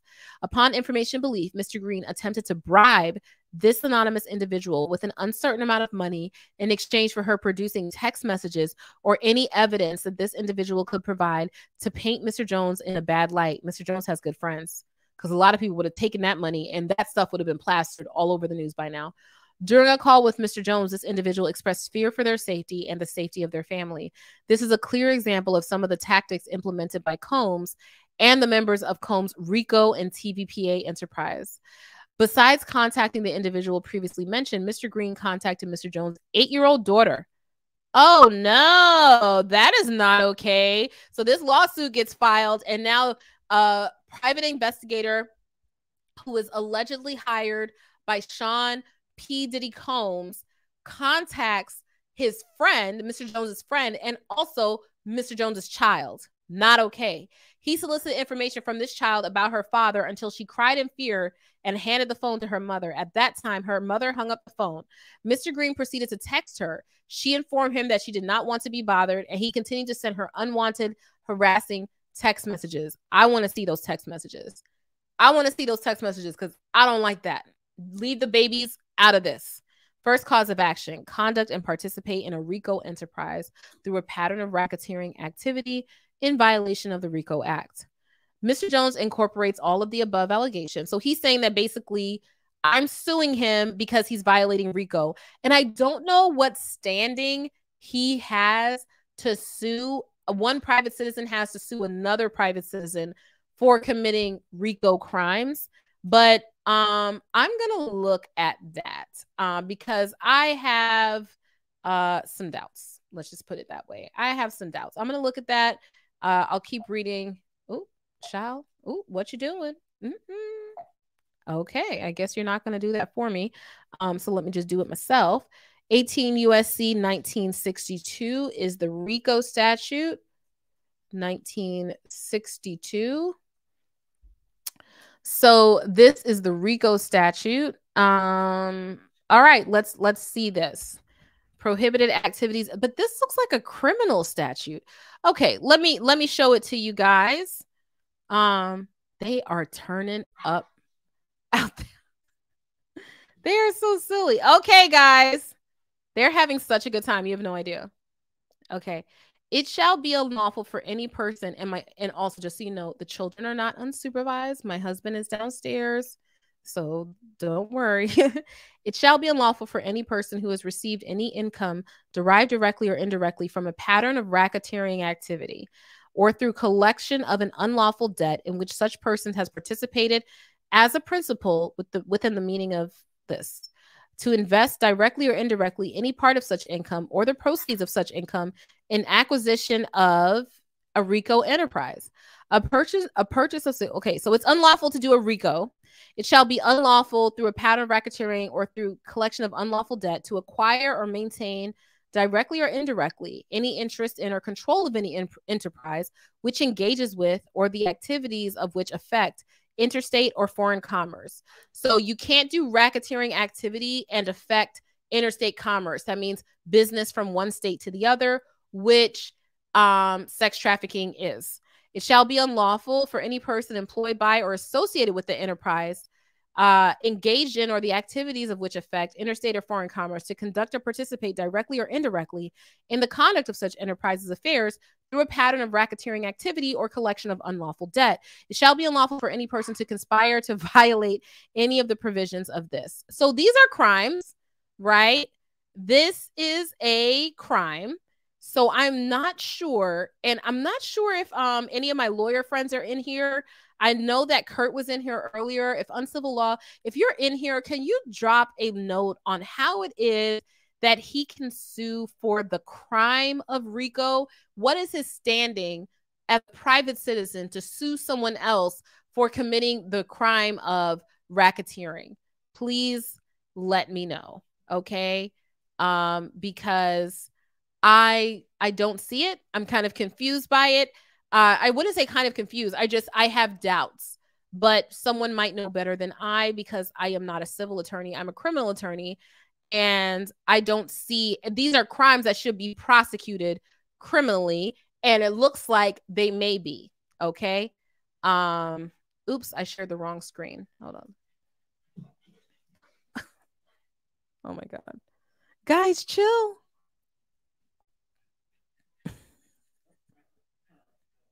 Yeah, they've got the zoomies. Okay. So, Rico, defendant Lucian Charles Grainge, that was the um, Caucasian man that you saw the picture of at the beginning of the stream. In his capacity as CEO of UMG, Motown Records, Universal Music Group, is 100% liable for the actions of Sean Combs, Love Records, Combs Global, Justin Combs, and Kristina Khorram. Let's say something about Kristina Khorram. One second. Kristina Khorram actually, I think, is providing information to Lil Rod. Let me see. I got a letter. Let me show it to you guys. Hold on. Okay.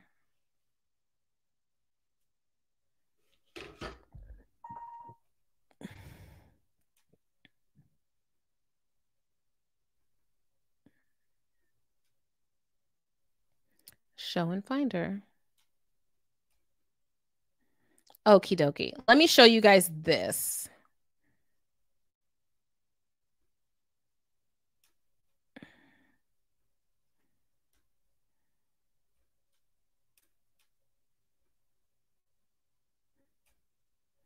Okay. This is a letter that um Jones's attorney, you might not be able to see it well. There we go. This is a letter that Jones's attorney wrote to um to the court letting them know that someone is participating and providing information to Jones. This is dated March 23rd of 2024. So I thought this would be interesting for you guys to see. TA Blackburn Law, Tyrone Blackburn is the attorney for Mr. Um, Jones. And I might have to eat, like I said, eat my words on this lawsuit because I think there's a lot of irrelevant things in there, but they you separate the wheat from the chaff. There may be something there that's actionable. Um, in particular, the allegations of harassment and sexual assault. Um, dear Judge Oetken, so I guess the case has now been assigned to Judge Oetken. um, or Oetken. I am writing to provide your honor with an update regarding the above referenced matter, which is Jones v. Combs. On behalf of the plaintiff Jones, on March 21st, 2024, plaintiff entered into an agreement with defendant Ethiopia Habertemariam. So she was one of the named defendants in the first complaint. This complaint has now been amended. So in the first complaint, she was one of the named defendants. Under this agreement, in exchange for a declaration that will be appended to the forthcoming amended complaint, the plaintiff has agreed to dismiss all claims against Habertemariam with prejudice, which means she has been, if you go back to that previous live stream in which we talked about this lawsuit, she was one of the defendants. She has been dismissed and they have agreed to never bring it back against her, right? They will not file another claim against her. It is with prejudice. Furthermore, which makes me think Habertemariam is, which is that's the Ethiopian last name, I think. Habertemariam is participating or has given them some type of information for them to have agreed not to proceed on a case against her. Furthermore, the plaintiff has elected to dismiss the claims against Chalice Recording Studio, CRS, without prejudice, meaning that we could bring it back against them. This decision enables the plaintiff to refile these claims in Los Angeles, California, where CRS is headquartered. So basically, I guess CRS got in contact with Blackburn and was like, Excuse me, I am not headquartered in New York.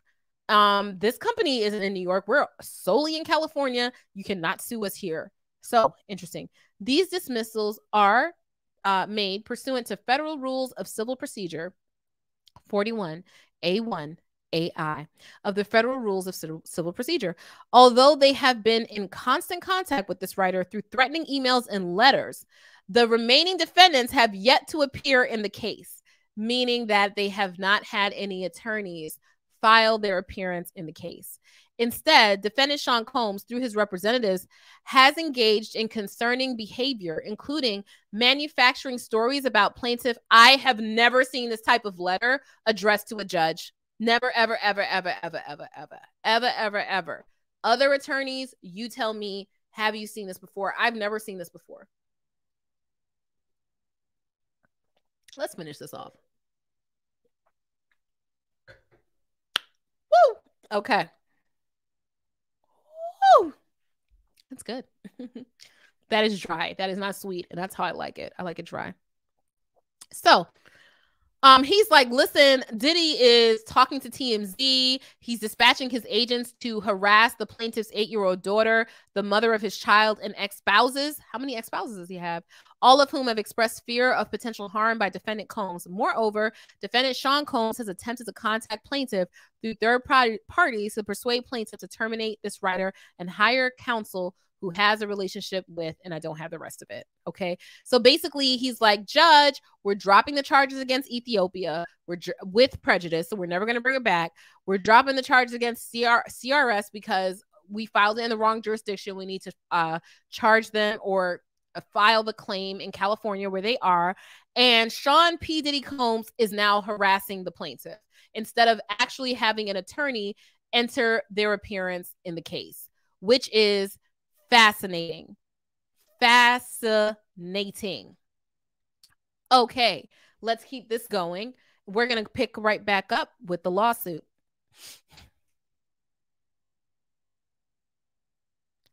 What did I do? Oh, no, here it is. It's all good. Share. Nope. Let me see. Okay, good. We're good. We're good. Okay, I can close this. The collective financially benefited from defendants Sean Combs, Combs Enterprise, Love Records, Justin Combs, Kristina Khorram, through their partnership and distribution deal with Sean Combs and Love Records. The collective provided defendants Sean Combs, Combs Enterprises, Love Records, Justin Combs, and Kristina Khorram with unfettered access to financial resources in the form of wire transfers, direct payments, and invoice reimbursements, and failed to adequately investigate, supervise, and or monitor where the money was being used, who was using the money, and what the money was being used for. Interesting because you know, the Universal Music Group, which I guess has some type of stake or ownership in, um, you know, Diddy's businesses. Um, what did they know, and what should they have known? And did they fail to exercise duties and therefore torts were committed? That's really what the question is. The issue is here. If they knew nothing, if they if they followed all the normal business practices um, in the music industry and yet Puffy still engaged in these crimes, they would not be liable, I don't think. But if they had a certain supervisory role, which they failed to um, execute, then they could be liable. So that this is a very, very interesting because this person is a rung above Sean P. Diddy Combs. The financial support provided by the collective was the lifeline that spearheaded and maintained defendants Combs, Inter- Combs Enterprise, Love Records, Justin Combs, and Kristina Khorram's depraved actions. Once again, that's a value judgment that I'm not interested in getting in. I don't care if Combs is gay. I don't care if he takes drugs. I don't care if he likes to have sex with prostitutes. I care about consent and paying people what you promised to pay them. And that's what this is all about. Did he violate people without their consent? Did he violate Jones, because this is who the plaintiff is, without his consent? And did he fail to pay Jones according to their contract? That will be borne out in the case itself. Well, the writers' camp at CRS, the nightly club love parties at CRS, and the yacht were all spaces that defendants Combs, Combs Enterprise, Love Records, Justin Combs, and Kristina Khorram utilized to produce songs that were released on the Love album. The Love album related expenses, reimbursement requirements was a ruse. The collective knew or should have known that defendants Combs, so on and so forth, had no intention to utilize the collective's financial support for album related expenses. How would they know that? I feel like record companies pay people with the expectation that they'll work on the albums that they're paying them for. That's very, very strange. Why? Like, you're just, that's a conclusory statement. I would like to see some other claims here have been backed up with because of these facts. This is why we believe this conclusion, but I see no facts to support this particular conclusion. The collective's willful blindness resulted in Jones suffering the harm detailed herein. I want to know what the harm is. What is the harm? And what is the harm to you? I really want you to be more specific about that. Um, okay. So, so the statute says that um, any act or threat involving murder, kidnapping, gambling, arson, robbery, bribery, extortion, dealing in obscene manner, dealing in a controlled substance or listed chemical, which is chargeable under state law and punishable by imprisonment of more than one year, any act which is indictable under any of the following provisions relating to trafficking of firearms, which he has accused Diddy of doing, relating to the obstruction of state or local law, which he has accused Diddy of doing, paying off cops, relating to peonage, slavery, and trafficking in persons, which he has accused Diddy of doing in trafficking sex workers. Um, and then relating to racketeering. So he's basically saying that by providing financial support for Diddy, they supported the racketeering enterprise. But how do they know that? right? How do they know that? How do you know that they knew that? I would like to see some information on that. I haven't seen that yet. Okay. So we all know these things are unlawful, unlawful, unlawful, but that means to me that the federal government is the correct prosecuting body and not this plaintiff in a civil case. I hope that makes sense. What I'm trying to say is basically you I have doubts that he can sue for racketeering because that's a crime that's prosecuted by the government. Okay. That's what I'm trying to say. And it looks like the government is prosecuting it. Again, the government was like, say no more. Defendants have unlawfully increased their profits by luring and deceiving producers, musicians, writers, creators, and artists such as plaintiff to their organization for the misstated purpose of using their talents as creatives to produce music. Defendants' true intentions are later revealed through a calculated grooming scheme that includes false promises of business opportunities, exposure to music executives with the promise of future introductions. But you just said that he flaunted the business executives in front of you, so he is exposing you to them. And the promise of awards and accolades, which he cannot promise which quickly, I mean, he may promise them, but it's not something that's actionable because he cannot provide that to you, which quickly shifts to unauthorized drugging, threats of bodily harm, sex trafficking, and sleep deprivation. According to Mr. Jones, defendant Combs often required Mr. Jones to work for several consecutive days without sleep. That's abuse. That's abuse. According to Mr. Jones, it was imperative to always look like he was working whenever Mr. Combs walked by. well, I don't want sleep deprivation of any employee of mine, but if I have an employee around me, I want you to look like you're working too. So I no longer supervise people, thank goodness, but I have supervised people and I don't want people to like they're lounging. I want you to look you're working. So please don't sue me. Within a few months of working for and living with Mr. Combs, Mr. Jones witnessed KK instruct her direct reports and Combs Enterprise employees Brendan, Frankie, and Moy to acquire and transport the following drugs ecstasy, cocaine, GHB, ketamine, marijuana, and mushrooms. Okay. Mr. Jones personally witnessed Combs Enterprise employee Brendan transport firearms to and from nightclubs, strip clubs. Again, that has nothing to do with you. This is for the federal government to prosecute, which it looks like they're doing. And again, it just may be that he puts these things in the lawsuit to make sure that this guy gets federally prosecuted. That's what this really looks a lot of this looks like, you know, hello police. police. Help. Okay. Mr. Jones personally witnessed Mr. Combs distribute firearms out of his bedroom closet to individuals that Mr. Jones knew to be members of local gangs. Wow. Okay. And once again, not something that's actionable because that's that doesn't harm Mr. Jones in any way, but may later on form the basis of a criminal prosecution.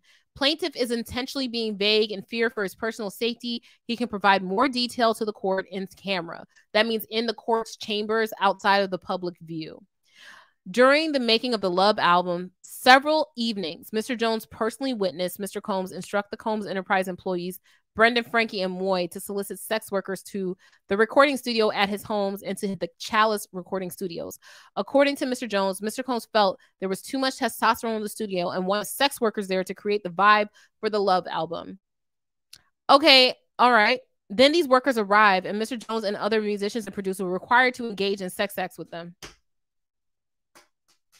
this okay i'm just saying that this part where you engage in sex acts with sex workers is going to be difficult at the trial because Diddy's attorneys are just going to say that's what you wanted to do. You wanted to have sex with these sexy women that were brought to the studio. Unfortunately, hip hop is extremely misogynistic. And a part of hip hop recording culture is having these hot girls in the studio and stuff like that. If one of them were suing and like, I was assaulted, I was raped, this thing happened to me as a result, then I would be like, okay, my ears would perk up. Let me hear what's happened here. But what he's saying is you you had sex with these women that may potentially be victims and now you're saying that you're a victim. I don't quite understand that and that may be sexism on my part right? That may be sexism on my part. I'm trying to unpack that. But as on a legal basis, if I was in front of the jury and I was Sean P. Diddy Combs' attorney, I'm going to say, you were willfully having sex with these women. And when you didn't get the mansion and the Grammy and the millions of dollars, now you want to sue and say you were forced to have sex with sex workers. I don't know. KK and Frankie would often negotiate the price for their services. They would either pay the workers in cash, electronically, or through any other form requested by the sex worker. Everyone's accounts are getting raided. Everyone's accounts. These the feds are going to dig all up in this and if it looks like any of these girls were women were underage, not consenting or having sex in states in which it was illegal, they are going down. As detailed in the chart below, when Mr. Jones was groomed into soliciting that's not what grooming is. That's not what that's not what grooming is. Groomed into soliciting um, sex workers for Mr. Combs, he often negotiated the cost via text message. See, this is what I'm trying to say. Mr. Jones is essentially holding himself out to be a pimp in his actions. He's telling you that inside I was against it. I'm a church boy. I'm a musical genius. I learned music in school. I play multiple instruments. I'm a good guy. But yet and still, you're using Cash App and PayPal and Venmo to pay sex workers, go and pick them up and bring them to the studio. You are a sex trafficker too. That is what's really concerning to me.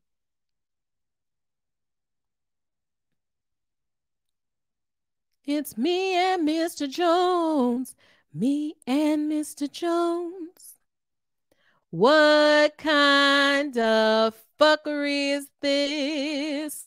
no, seriously, this is bullshit. I'm, I'm th- there's certain parts of this where I'm like, this is bullshit. There's other parts of this where it's like Diddy is going to prison because these are crimes, and there's other parts of this where I'm like, okay, this is an actual civil action that Mr. Jones could proceed with against Sean P. Diddy Combs.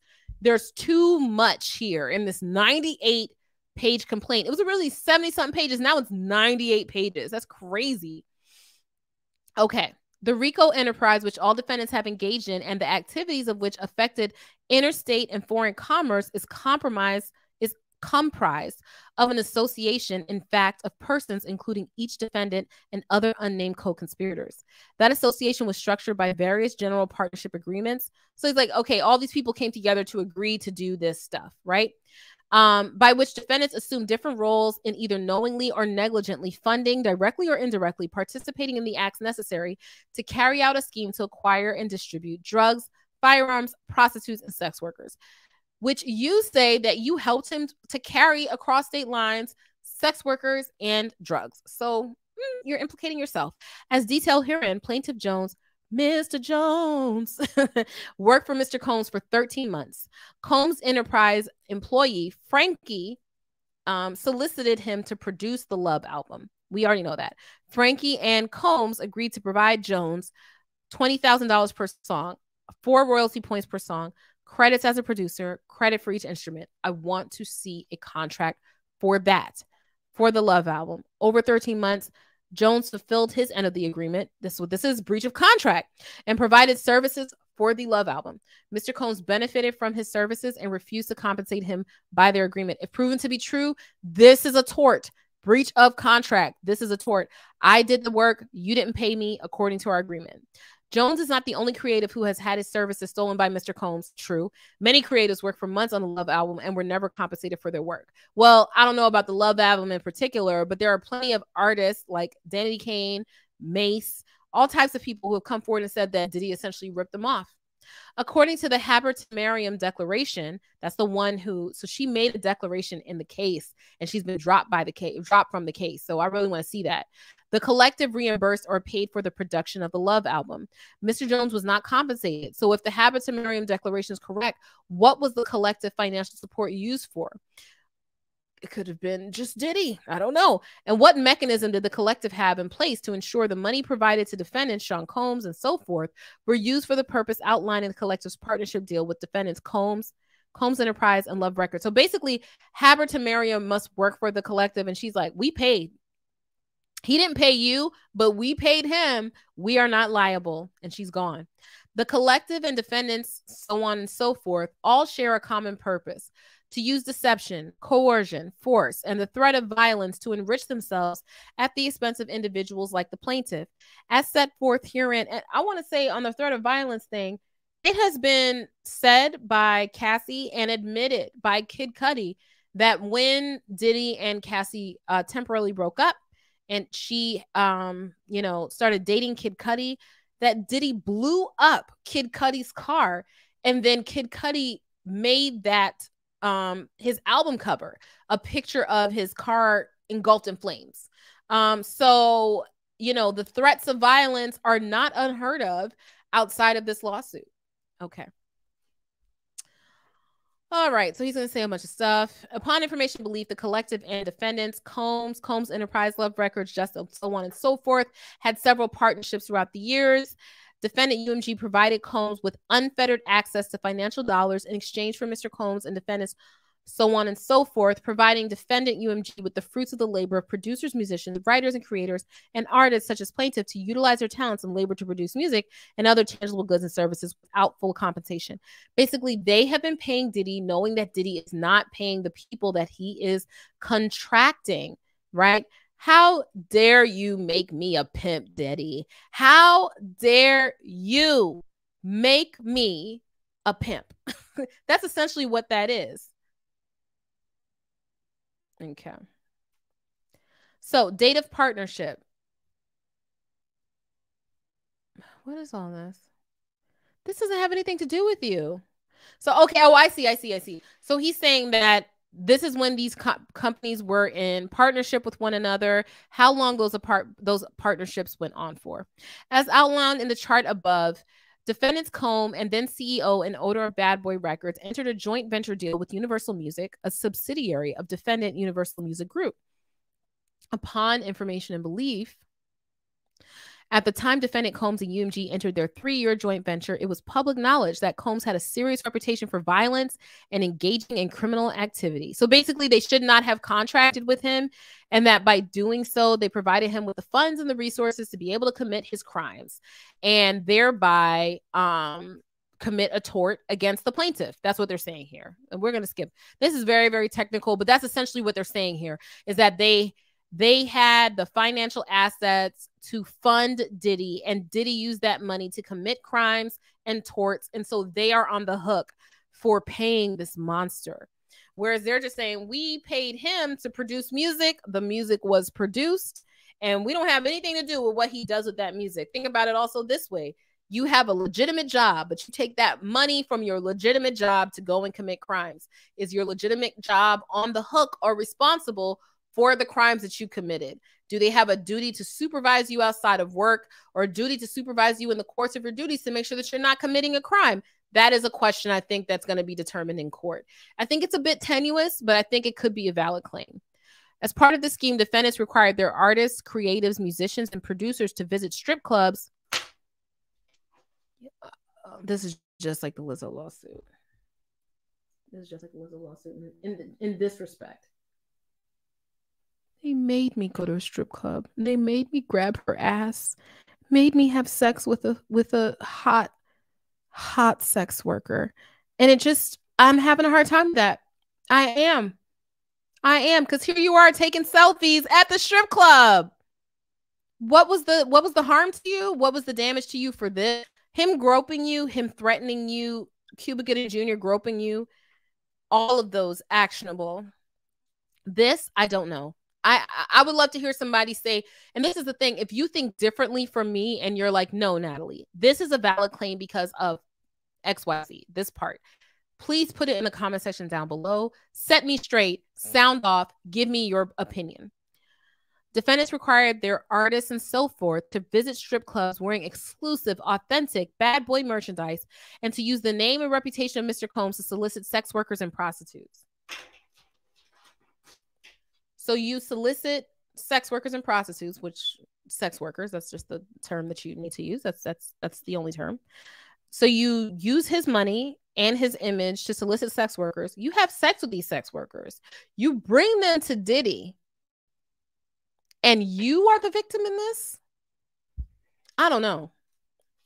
Additionally, Mr. Combs used the prospects of winning Grammy Awards. Ah, that irks me purchasing $20 million homes, you're never going to get a $20 million home from him. That was never going to happen. Participating in future pro- projects, that's too speculative to sue about. Making $250,000 cash payments and meeting influential music industry executives, which you admit that you did meet because you said he flaunted them in your face. this pattern of false representations was disseminated to artists and so forth in Florida and New York and California and around the country by defendants based in California, Florida, and New York. Under the direction and on behalf of defendants in New York, the dissemination typically used interstate telephone wires, social media, messages, and electronic mail. Making promises to people on the phone is not a crime. That's not a crime. That's not a tort. I don't think I don't think any of this is actionable. The, uh, uh, not of the entire lawsuit, but this section I don't think is actionable. We're gonna skip some of this. Okay. Oh my god. Okay, let's get to the next section. Wow. Okay.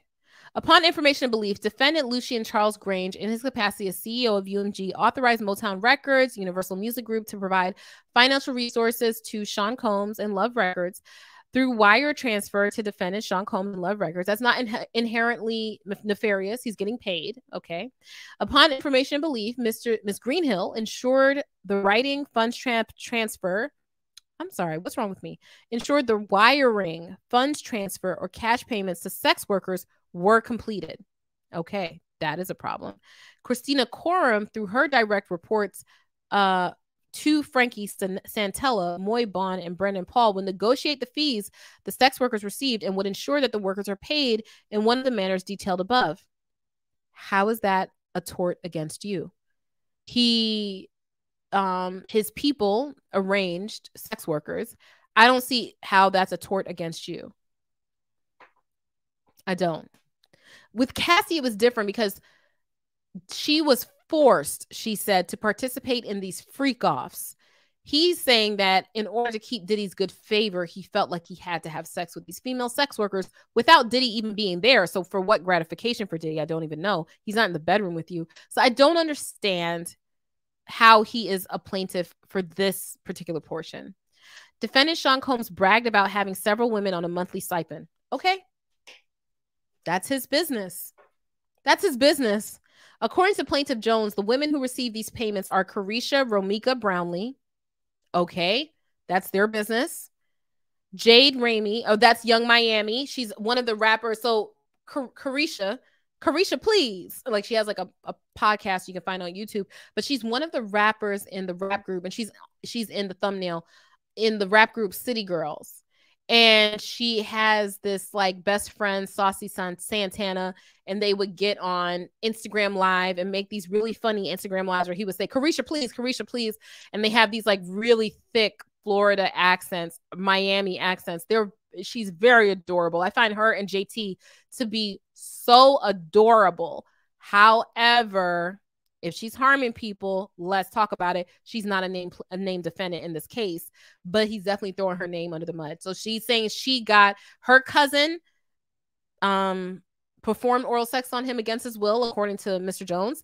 And um now he's saying that uh she receives a monthly stipend from Diddy as well as Jade, Ramey, and Daphne Joy Cervantes Narvaez, aka Daphne Joy, who were paid a monthly fee to work as Mr. Combs' sex workers.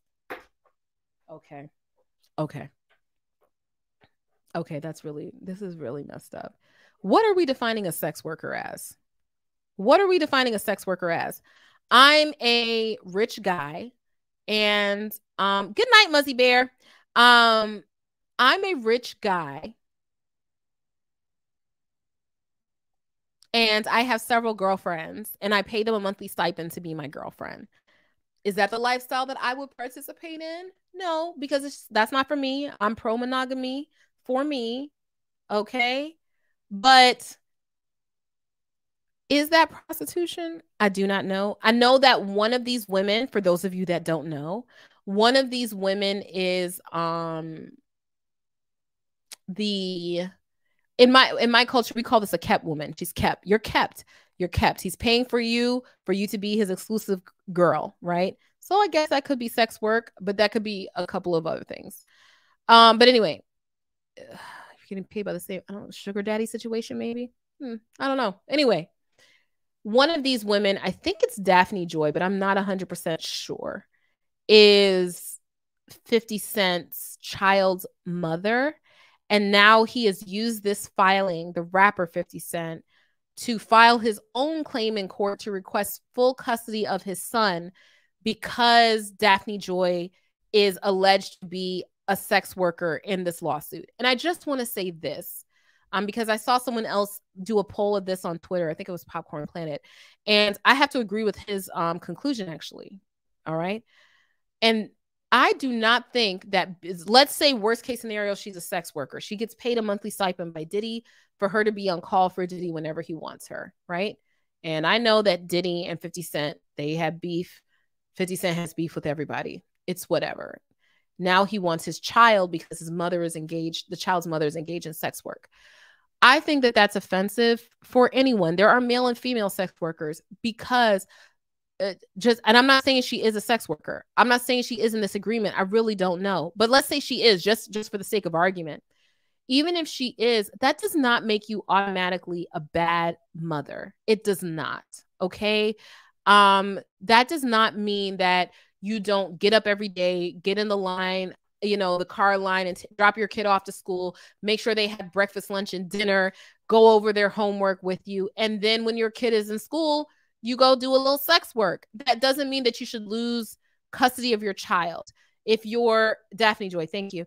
If you're if you're doing sex work but your child has all their daily needs met and you're emotionally and financially available to them, then I do not think that that makes you a bad parent.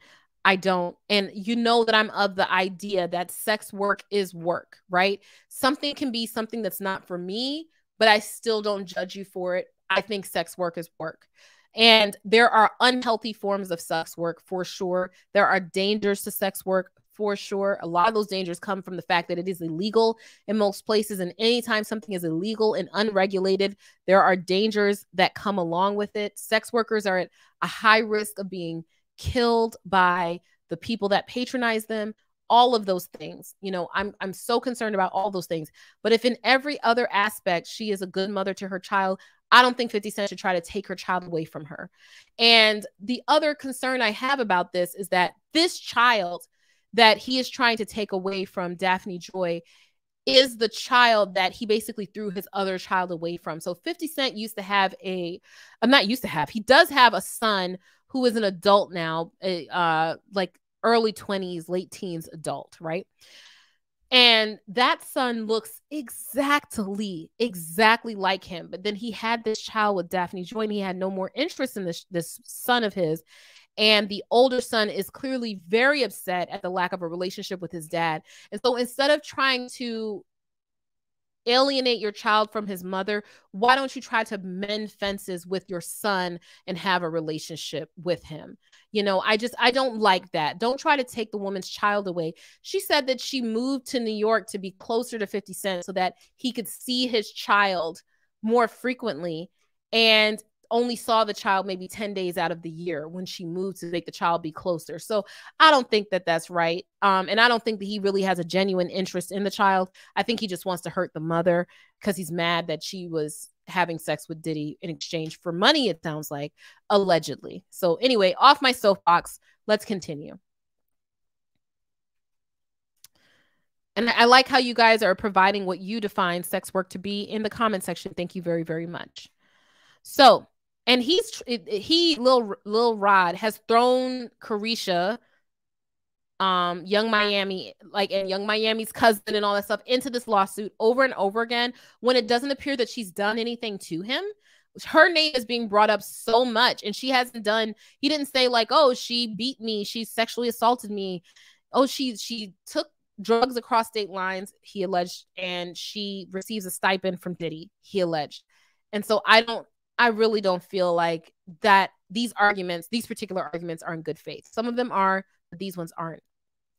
Based on information belief, they received payment via wire transfer from Robin Greenhill. It is unclear if they were provided the appropriate United States federal tax documents for these payments. Oh my God. I don't mean this in a prohibitive way. Like, I don't want people to not you know, tell when they see crimes. I'm not like, but this dude is big snitching. That's really what he's doing. Because don't have nothing to do with you. I don't, hey, federal government, I don't know if they declared the sex work on their taxes, but you might want to look at that, Mr. IRS. this has nothing to do with any claim against him. Okay. During the 10 years preceding the filing of this action into the present, all defendants did cooperate jointly and severally in the commission of three or more predicate acts. So they committed crimes in furtherance of this RICO. Um, we're not going to go through each one of them. So they committed multiple acts of sex trafficking in violation of 18 USC 1591, sex trafficking of children or by force, fraud, or coercion in furtherance of the enterprise. I don't see how he can sue for this. I need somebody. Hold on one second. Hold on. I don't see how he can sue for this. Hold on. Give me a second. Phone a friend.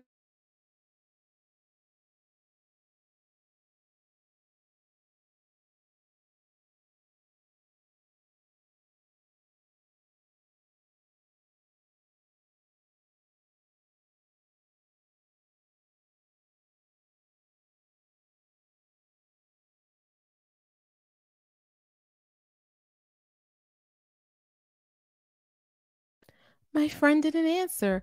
Yeah, so Robin Greenhill is mentioned in this lawsuit, and she is alleged to have coordinated the payments to the women that, that Diddy keeps on a stipend. So, you know, it is what it is.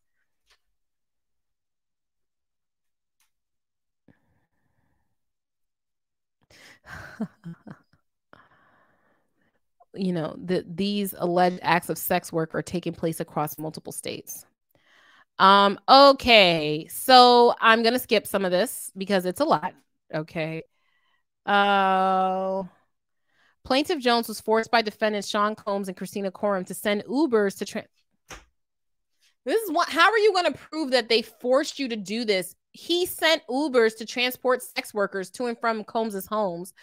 Did you also have sex with them? Then you're participating in the sex trafficking.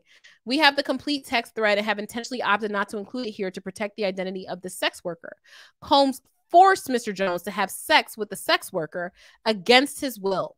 According to Mr. Jones, defendant Combs felt there was too much testosterone in the studio and wanted sex workers there to create the vibe for the love album. You've already said this. You're repeating yourself. Oh my God.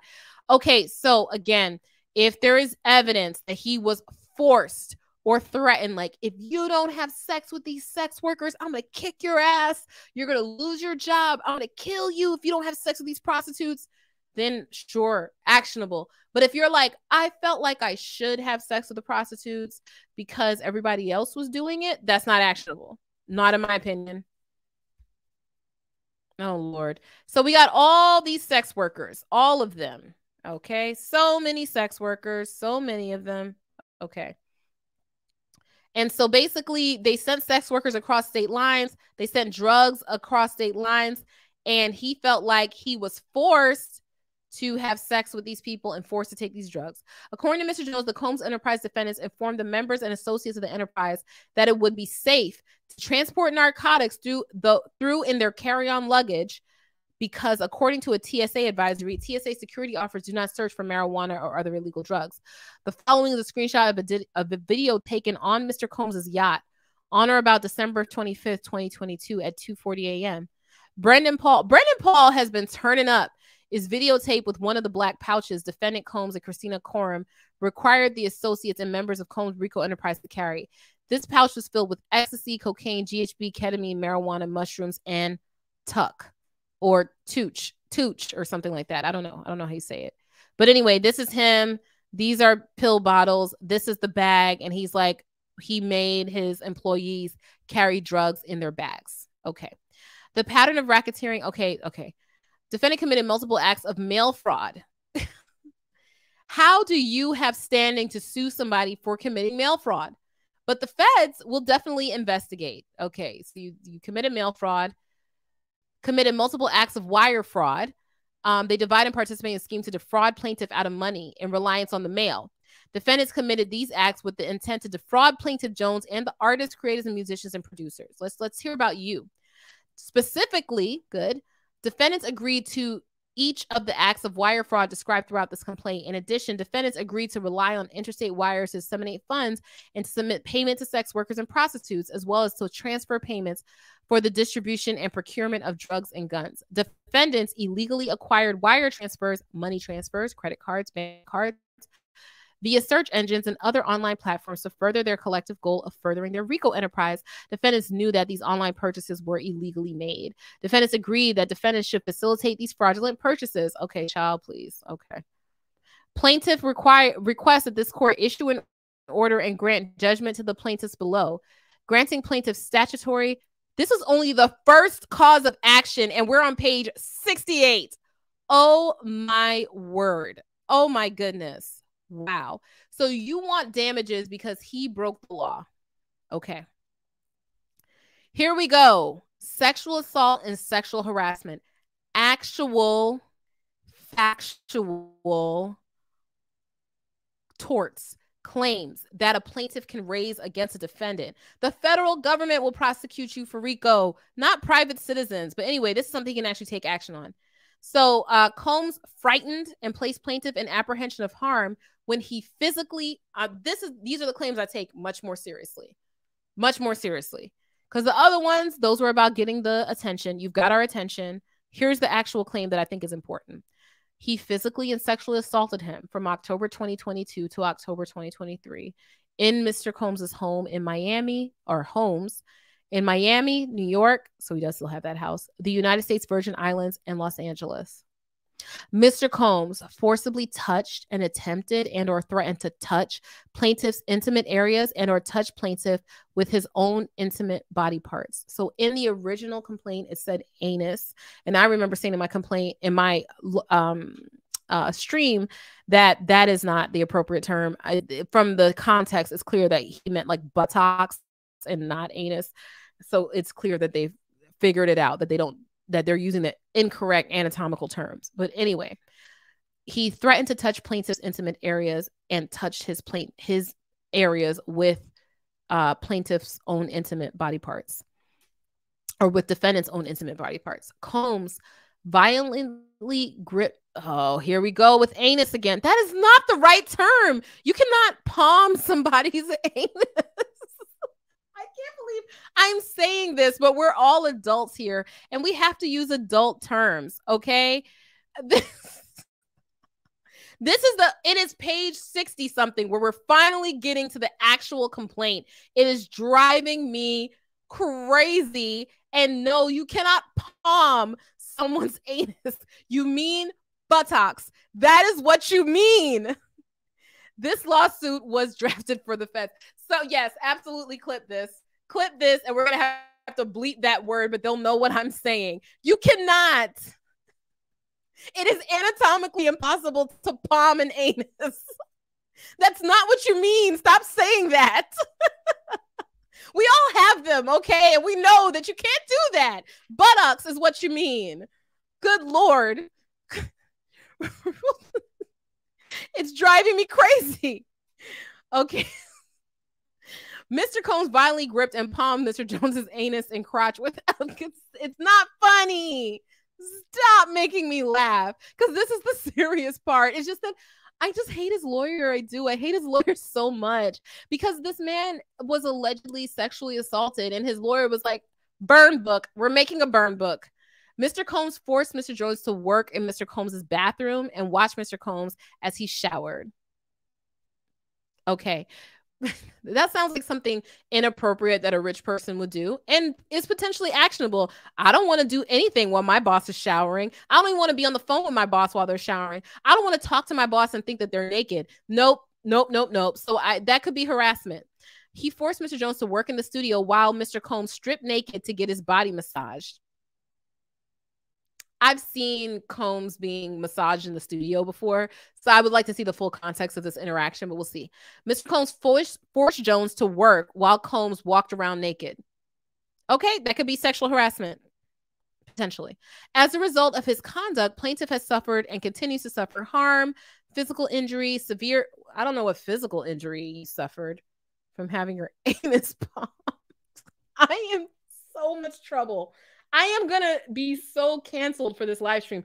I am so sorry. I'm not trying to make fun of the actual ass- alleged assault. That's not it. It's just the bad term of phrase that is bothering me. And there's no physical injury alleged here or no mechanism by which physical injury could have been created. So it's emotional distress, it's humiliation, anxiety, harm, all of those things, but it's not physical injury there are torts that actually do create physical injury. Like oh my goodness this person beat me up. I have a physical injury as a result of that. That's not what happened here. So i wish it would be more particular in the language. The language in this lawsuit in the original lawsuit in the amended complaint has always been too colloquial for me. I just don't like it. It bothers me. So that's what i'm complaining about like consult with a sexual assault expert to know the appropriate language to use when filing one of these claims so that they're taken seriously but also so that they accurately describe the tort that your client suffered. A tort is just a civil harm right? It's not a crime it's a tort. That's what a tort is when I keep saying that. Okay Mr. Combs's conduct described above was willful, wanton, and malicious. At all relevant times, Combs acted with conscious disregard for plaintiff's rights and feelings, acted with the knowledge of or with reckless disregard for the fact that his conduct was sure to cause injury and or humiliation to plaintiff and intended to cause fear, physical injury and or pain and suffering to plaintiff. By virtue of the foregoing, plaintiff is entitled to recover punitive damages. Third cause of action, sexual assault against Jane Doe 1, Yung Miami's cousin. which tells me you don't know her name. And so you can only know, you know, basically designate her as Yung Miami's cousin. But I wish that throughout this, uh, so the appropriate way to handle that is at the very beginning of your lawsuit, right? You say, Young, you say Jane Doe one in the caption. And then when you're describing each of the parties, you'll say, Jane Doe 1 is Yung Miami's cousin, and you go throughout the entire complaint calling her Jane Doe 1. You do not call her Yung Miami's cousin throughout the entire lawsuit. You call her Jane Doe 1. That's what you call her. Okay? It's it's this is not well written. Mr. Jones incorporates this. As described above, Jane Doe 1, frightened and placed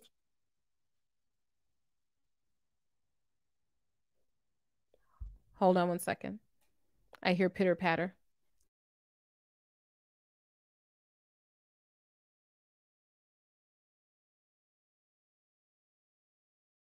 One moment, please.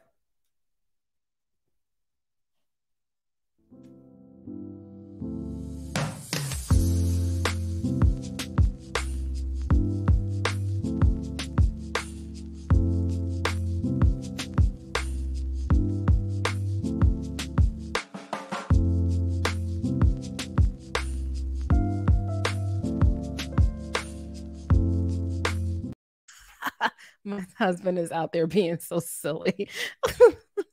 He's enjoying the dogs. Okay, let me get back to it. Um, Jane Doe 1 forcibly touched and attempted or threatened to touch plaintiff's intimate areas and or touch plaintiff with her own intimate body parts. She used her mouth and performed oral sex on plaintiff while he was urinating in the restroom. The plaintiff fought her off while Mr. Combs and his associates sat outside loudly laughing. Jane Doe 1 then followed Mr. Jones outside of the restroom again, undressing in front of Mr. Combs and his associates, straddled Mr. Jones, and attempted to have forced sexual intercourse with him. All of this is inappropriate. This is sexual assault, and men can be sexually assaulted. If a man says no and you still proceed to, you know, get on him and do all that stuff, you are a predator child. So, absolutely, if proven in court, this is valid. At least on its face, this is a valid basis to bring a lawsuit, right? The courts will determine if it's true or not, but this is definitely a valid basis to bring a lawsuit. There's a lot of other things before this that I was just like, nah, man. Okay. Premises liability for the sexual assault committed by Jane Doe. One against Mr. Combs. Um, Mr. Jones was sexually assaulted by Jane Doe one. So basically, he's saying that because I, I, can explain this without reading the whole thing. This was Sean P. Diddy Combs's home, Puff Daddy's house and the sexual assault happened in Puff Daddy's house. He created the unsafe environment for that sexual assault to happen in. And so he is also liable for uh, Jane Doe 1 committing a sexual assault against him. That's what premises liability is. Um, and then Cuba Gooding Jr., this happened on, I think, on the boat or in the studio. I can't really remember, but it's on video. And that by Combs having the location in which this happened and it was being an unsafe environment and fostering that unsafe environment on his premises, he is also liable for the sexual assault. And that could, so there could be hypothetical situations in which, say, you are you know, you're at work and your job has this disgusting culture of sexual assault. You're sexually assaulted and the boss does nothing about it and they don't care your boss could also be liable, right, for keeping a certain premises in a way that, you know, makes those things happen. So that is a legally cognizable claim, uh, a, a bit tenuous. They're not very easy to prove, but it's a it's a claim. It's one that can be brought. Trafficking and Victims Protection Act. Defendant Sean Combs and Justin Combs and all the other people assisted, supported, and facilitated a sex trafficking venture. Defendants knowingly and intentionally recruited, enticed, provided, and so forth, and solicited by various means Mr. Jones, knowing that defendant Combs and so forth would use means of force, threats, or force threats of force, fraud, coercion to cause Mr. Jones, as well as others, some of whom were under the age of 17, to engage in commercial sex acts. Basically, I was coerced and forced to have sex with sex workers and have sex acts with sex workers. And he did that with some people who were under the age of 18. That has been alleged further up in the complaint.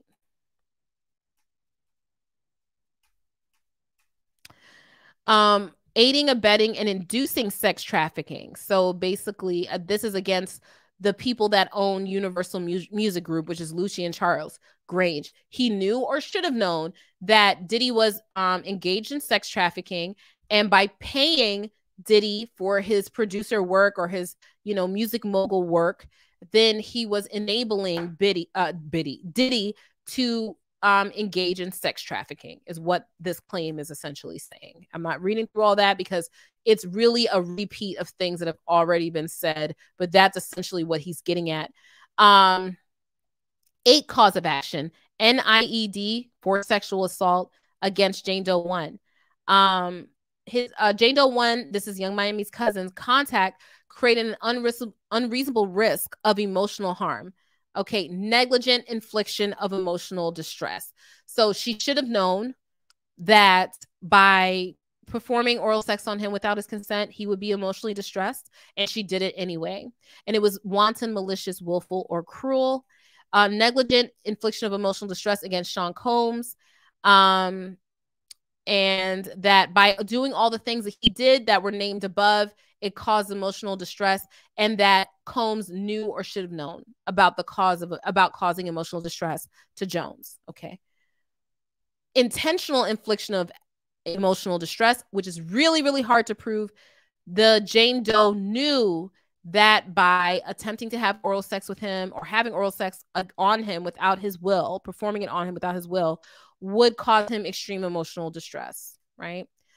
Um, and the same thing for Mr. Combs. He knew that it would cause the emotional distress and he did it anyway, maliciously, wantonly.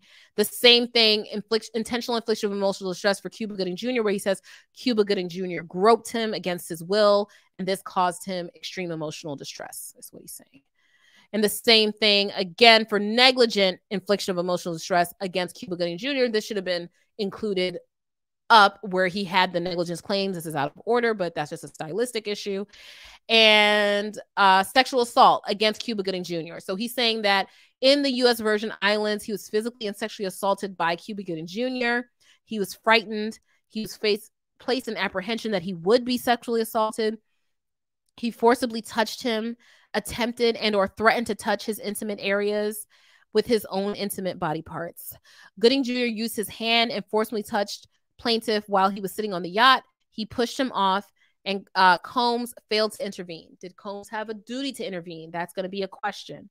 What part of his body, of Gooding's body, touched what part of plaintiff's body is not totally clear from the lawsuit. But if it's any of his intimate areas, the behind, the penis, anything like that, that could be sexual assault. As a result of his conduct, he suffered and continues to suffer from harm physical injury, no, you didn't, emotional distress, possibly humiliation, possibly anxiety, and other consequential damages. The conduct was willful, wanton, and malicious. 15th cause of action. My God in heaven. 15th cause of action, page 81 of 98. Um, knowing beneficiary in a sex tra- trafficking venture. So basically, this is again UMG music group, they know that sex trafficking is occurring on Diddy's level, so they're over Diddy.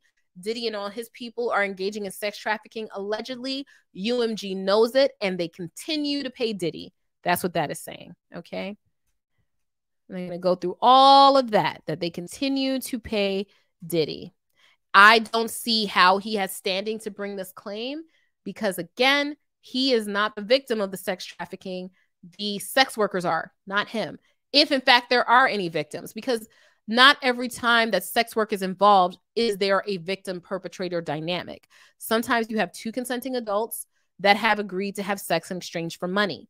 That does not mean that it's sex trafficking. However, it can be. And just because I say that doesn't mean that the law looks at it that way. That's just how I see it. But, you know, again, it can be. And so it begs the question what did UMG Music Group know? Okay. So they're saying basically we've got supporting documents to show that UMG knew that they were engaged in sex trafficking. Obstruction of the enforcement of the sex, excuse me, obstruction of the enforcement of the Trafficking Victim Protection Act. How can you sue for this? You are not a trafficking victim. Defendants Lucian Charles Grainge, in his capacity as CEO of UMG, um, knowingly and intentionally obstructed and attempted to obstruct interfere with and prevented the enforcement of the Sex Trafficking Act, which basically makes it illegal to move people across state lines for the purpose of sex trafficking. Um, okay. He has a, okay so sean combs has a well documented history of criminal investigations. Lucian charles grainge but not criminal investigations for sex trafficking before cassie filed her lawsuit. So up until that point in time what were they on notice of? But you need but maybe he has some evidence of that or the discovery process will reveal it but that still leads me to the question of is he the correct plaintiff to bring this case, or is that something that's better suited for the federal government to investigate, which it seems like they're doing? Defendants Lucian Charles Grainge, in his capacity as CEO of UMG, should have taken a cue from the federal prosecutor's arrest and prosecution of Jeffrey Epstein. Honor about that. What? What? What are you talking about? That doesn't even make any sense. Jeffrey Epstein is a completely unrelated case to Sean P. Diddy Combs. You have presented in this lawsuit no evidence of a relationship between Epstein and Sean P. Diddy Combs. So just because Epstein is arrested and prosecuted and then unalives himself because of sex trafficking and being a pedo and a disgusting pervert, nasty, dirty man, I'm so glad he's dead, right? Just because that happened doesn't mean that this company should be on notice that one of the companies underneath them and the CEO of that company is engaged in sex trafficking.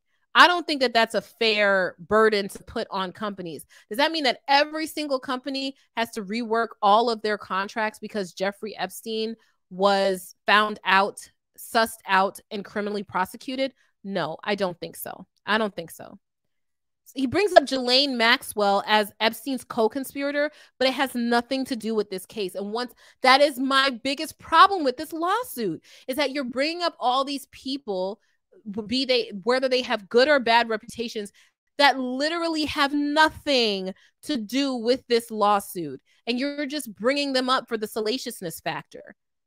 Oh well, because of Jeffrey Epstein, UMG Music Group should have known that P Diddy was a sex trafficker and a gun trafficker and a drug trafficker. No, I don't think so. I'm sorry. Upon information and belief, by providing financing to Combs' sex trafficking organization, it's not a sex trafficking organization. He is maybe committing sex trafficking.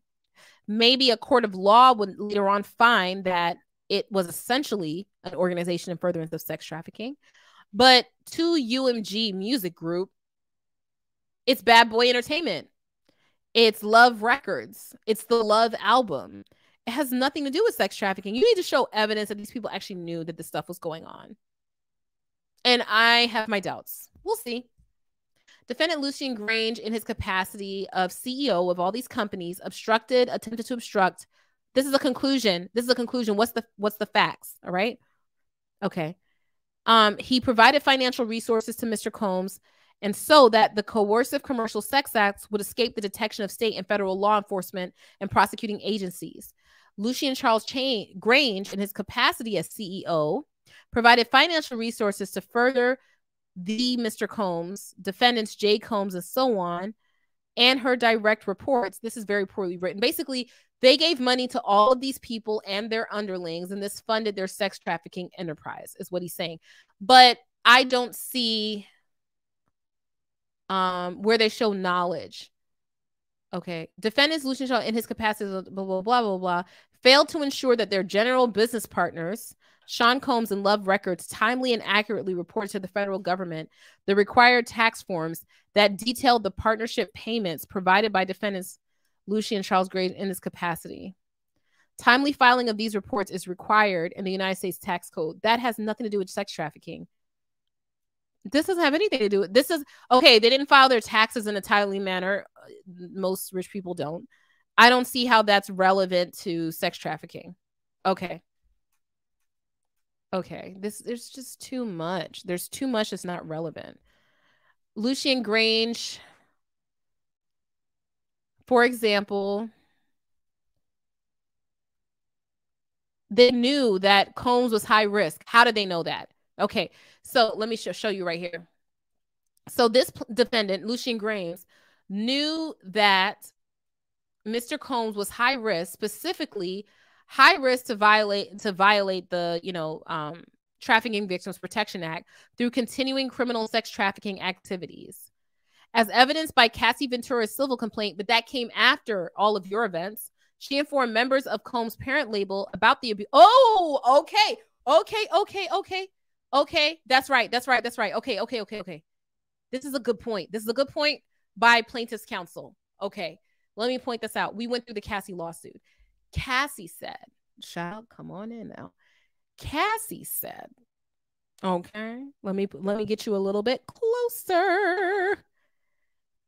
Cassie said that she told Diddy's parent company that essentially Diddy was holding her hostage. She did not want to go back, holding her hostage with her music career. And they were just basically like, sorry, you've got to submit to Diddy, you know, like, or you can go. Please give him a call. Basically, they participated in forcing her to go back to him time and time again. And Diddy had this coercive control over her, and she let them know that. So that could be evidence of knowledge. If they could get those communications between Cassie and whatever businesses that Diddy is associated with, where she's like, hey, these crazy things are happening. I need help to escape.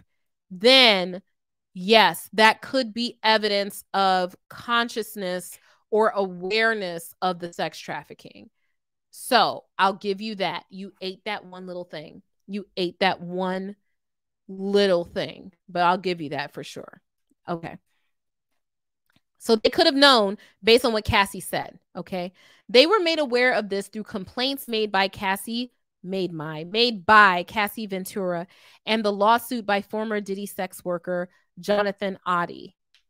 Defendants Lucy and Charles Grange, in his capacity of CEO of UMG, etc., concealed from the federal government its numerous financial payments to Mr. Combs and Love Records. How do you know this? I don't know. If it's concealed from the federal government, how do you know?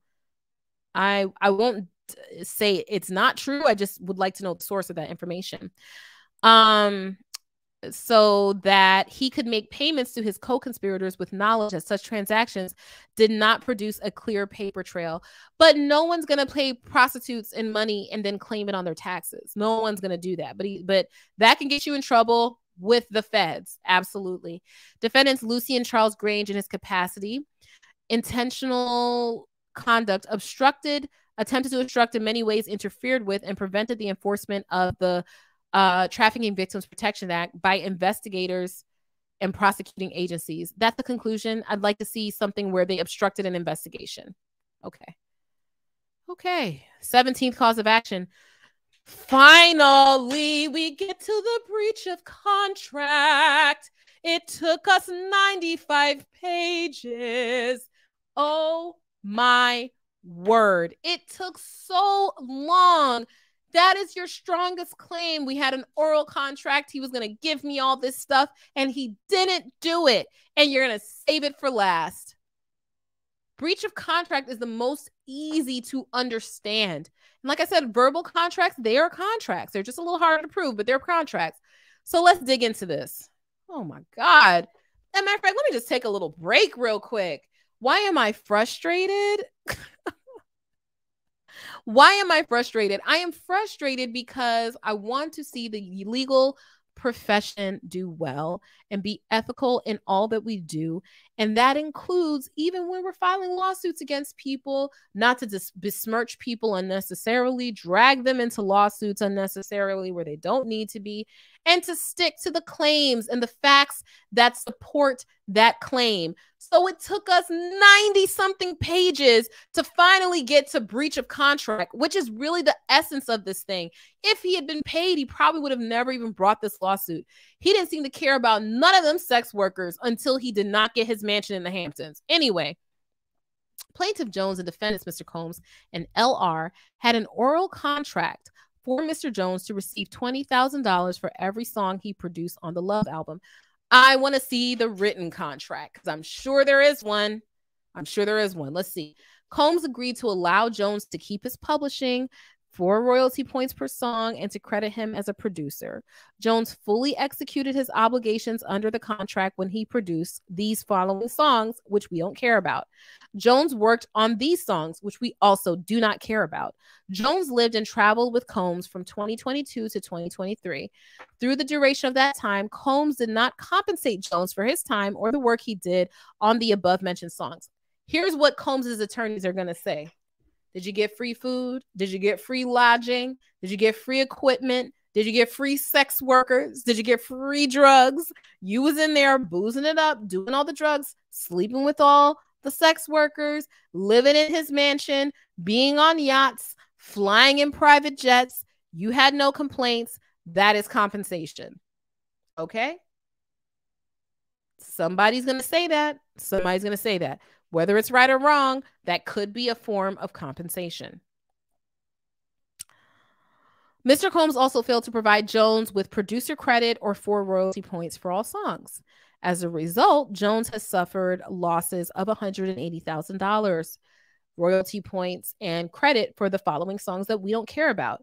As a result of these actions, Jones has suffered these losses $40,000 for royalty points for these songs that we also don't care about. And because of the breach of contract, he suffered and continues to suffer harm, severe emotional distress, anxiety, and other consequential damages. And we want monetary damages and other release, relief. And because he was willful and malicious and wanton, we want punitive damages, prayer for relief. I want you to note that this prayer for relief has come up twice, which is how badly written this lawsuit is.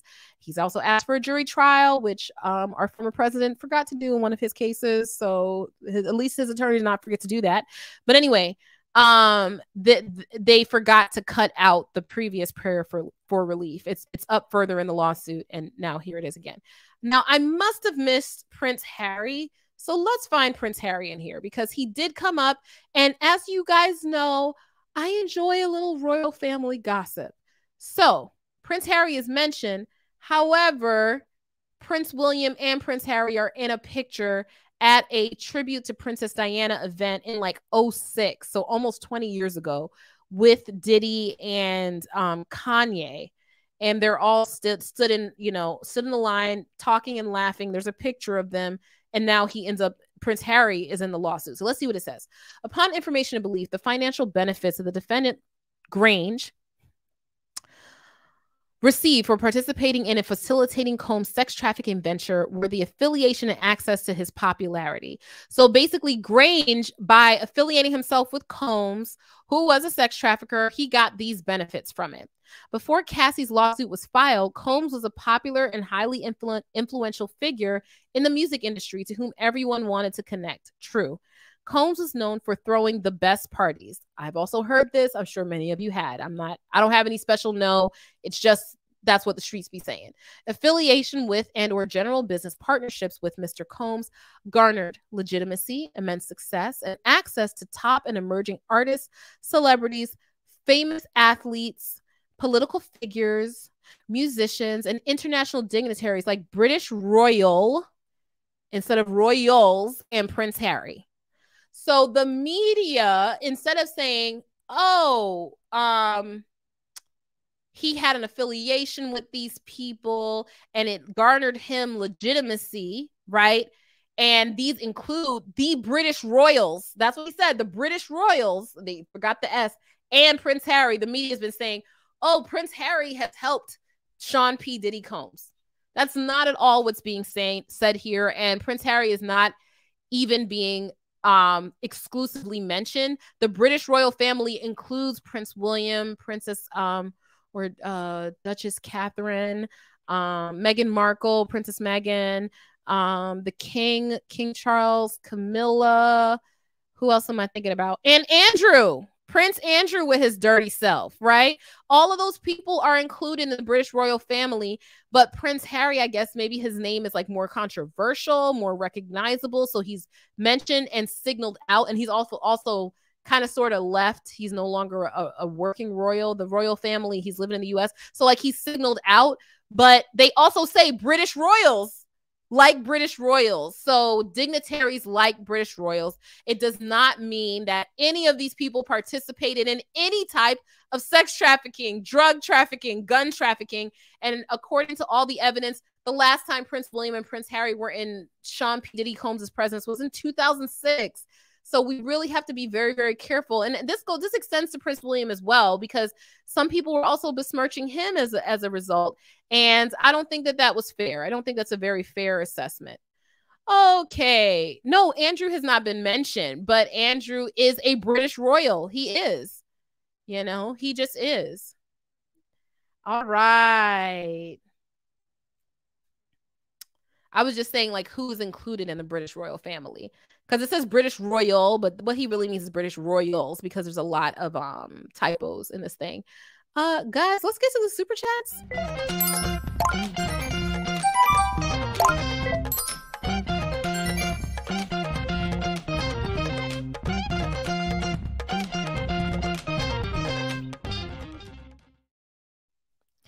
And what's really interesting to me is that Epstein is mentioned over and over and over again and you know i'm i'm glitching because i'm over two hours and that's what happens so just deal with it because i'm tired.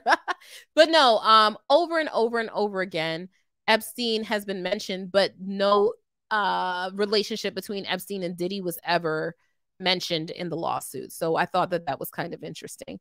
La mama t welcome to the lawyer chicklets. As pretty does welcome to the lawyer chicklets. Mech D's, welcome to the lawyer chicklets Susan, welcome to the Lawyer Chicklets. Thank you for the super sticker, Laura Christine. That's very, very generous of you. Hello, Sussex Sandra. a little something because YouTube can be oversensitive. Thank you so, so much. Big up to the Jamaican flag. Irene, I'm sorry if I, I don't want to say your name wrong, Irene. Thank you for being a member for 13 months. I appreciate you and I appreciate you too. Thank you so much. Cristobal San Pedro, thank you for the super sticker. Maddie Retman, thank you for the super chat. I feel like him settling was because he knew that Discovery was going to reveal all the illegal stuff he did was doing. Absolutely. And that's what some of Lil Rod's um, extra stuff is all about is you need to settle with me. I am going to embarrass you and expose you. And it might be too late now because the feds the feds are watching. The feds are watching. Stephen Delaville, thank you very much for the very, very generous, generous super sticker. Thank you. Peggy Cole, I know, I want to know who Diddy pissed off, has been a member for 17 months. Thank you so much. Yeah, I mean, it's a fall from grace of epic proportions, but it's been years since he became very wealthy that he's been accused of being a terribly exploitative businessman with these new artists that he was taking under his wing and just doing them terribly. So that was not new, but the sex stuff I did not know about. Thanks for not missing words. Love to you, Susie and doggies. Thank you so much, Jess. Thank you so, so much. Nate the lawyer, hey. Thank you so much for the super chat, Nate the lawyer. It's so nice to see you, my friend. The lawyer trying to get the Cassie settlement. The more crazy, the more money. Absolutely. I don't know. It looks like he may get something out of this, but I just find it in bad faith, Nate, how much of this lawsuit is about salacious details that have nothing to do with the plaintiff. It's very, very interesting to me. Thank you for the super chat again, Peggy Cole. I appreciate you. Conspiracy? Do you think if the person convicted of Tupac might be talking? I know it has been said Diddy had been. Interesting. There is a conspiracy theory that Diddy was behind the Tupac murder. I know nothing about it. I don't sue me, Diddy. Don't try to recoup that money off of my back. I am just a lowly public defender and YouTuber. You can't get anything from me. Gifted 10 Natalie Lawyer Chick memberships from Lady Dracon bonus. Thank you so much. And welcome to all of you new members that are gifted memberships. Welcome aboard. Um, thank you, Lady Draconis, for um, saying that it was great coverage in all you do, and it is a crazy story. Shawnee, thank you for the super sticker. Ashley at CC, thank you. C and C. Uh, you know what, Ashley, you've been here for a while. Welcome on back to the membership. Thank you for being a lawyer chicklet. We love you. Thank you. K Bragg, hey girl. I got my tinfoil hat on, me too, feeling like Lil Ron is a CI undercover asset who got infiltrated Diddy's camp to gather intel because his lawsuit eerily lays out the case for the feds. I ain't mad at it. It does. It reads like a federal indictment instead of a civil lawsuit. It's very interesting. Hey, Cristobal San Pedro, I will take your money. Thank you all guys so much for making this worth my time. You do help this channel to continue to grow. And although my camera is glitching because it is clearly not meant for live streaming anymore, um, there's a component in it that's a little burnt out. And so that after two hours, it just can't hold up anymore um, there there's been such an improvement in equipment, mic, camera, lighting, all types of things. That all of that is helped by you guys. Thank you so much. K Bragg, thank you for the uh, super chat. I think it's sugaring, which is sex work, like a sugar baby, sugar daddy situation, which is sex work. And we are talking about Yung Miami and the other ladies in the harem I hate to say that, but that's essentially what it is. Uh, is that sex work? Is what my question was, and I think a lot of you say that it is. Um, Lady Fucking T, my girl, thank you for gifting 10 Natalie Lawyer Chick memberships. Thank you, K Bragg, for the extremely generous super chat. You can palm the if you spread the cheeks first. I just tested this. That's a lot of work. so a donkey isn't a jackanus. Right, he's a jackass. You can palm someone's ass. You cannot palm an anus. It's ridiculous. Naughty Aries, nice to see you. Thank you for the super chat for the happiness and adorableness of the fur babies. Please record them playing as a treat. I will. I will. I will. Thank you. I'll put it up as a short for you guys. MK has been a member for 11 months. Thank you so much. Holy words, Batman. Yikes. It's a long tattletale. Very, very long. And Nashay Jones has been a member for 11 months. Thank you for continuing to support the channel. I really appreciate you. This lawsuit is trying to do way too much. Uh, it is. But you know what? He got what he wanted. He got a lot of attention, a lot, a lot of eyes on this lawsuit. Um, and even potentially stalked by a private investigator for Diddy, allegedly. Editor Danielle Marie sent a super sticker. Thank you so much, Danielle Marie. Okay, I want to thank all of you who were so kind to come out here tonight so that we could, uh, you know, really look at this very, very interesting case with a lot of twists and turns. One second, hold on, one second. Hold on. Let's do this. Okay, here we go. Aha. Okay, here I am with a lot of different twists and turns and um, all of your input and everything has been so helpful in uh, me understanding the case and i've enjoyed reading it so that i can kind of process it as well um, because you can't just go what off off of what's put in the media. But yeah i think this is a where there's smoke there's fire that there's a two things can be true at once situation going on here where i think there's a bit of manipulation and ex- exploitation going on. They're for a big payday but also something something might have happened to little Rod. So he might have been abused in some type of way. And so he may be deserving of something, but everything that he says, I don't think is suitable for a lawsuit. I want to thank all of you. Have a good night. Make sure that you like the video on your way out, and I'll see you later. Bye.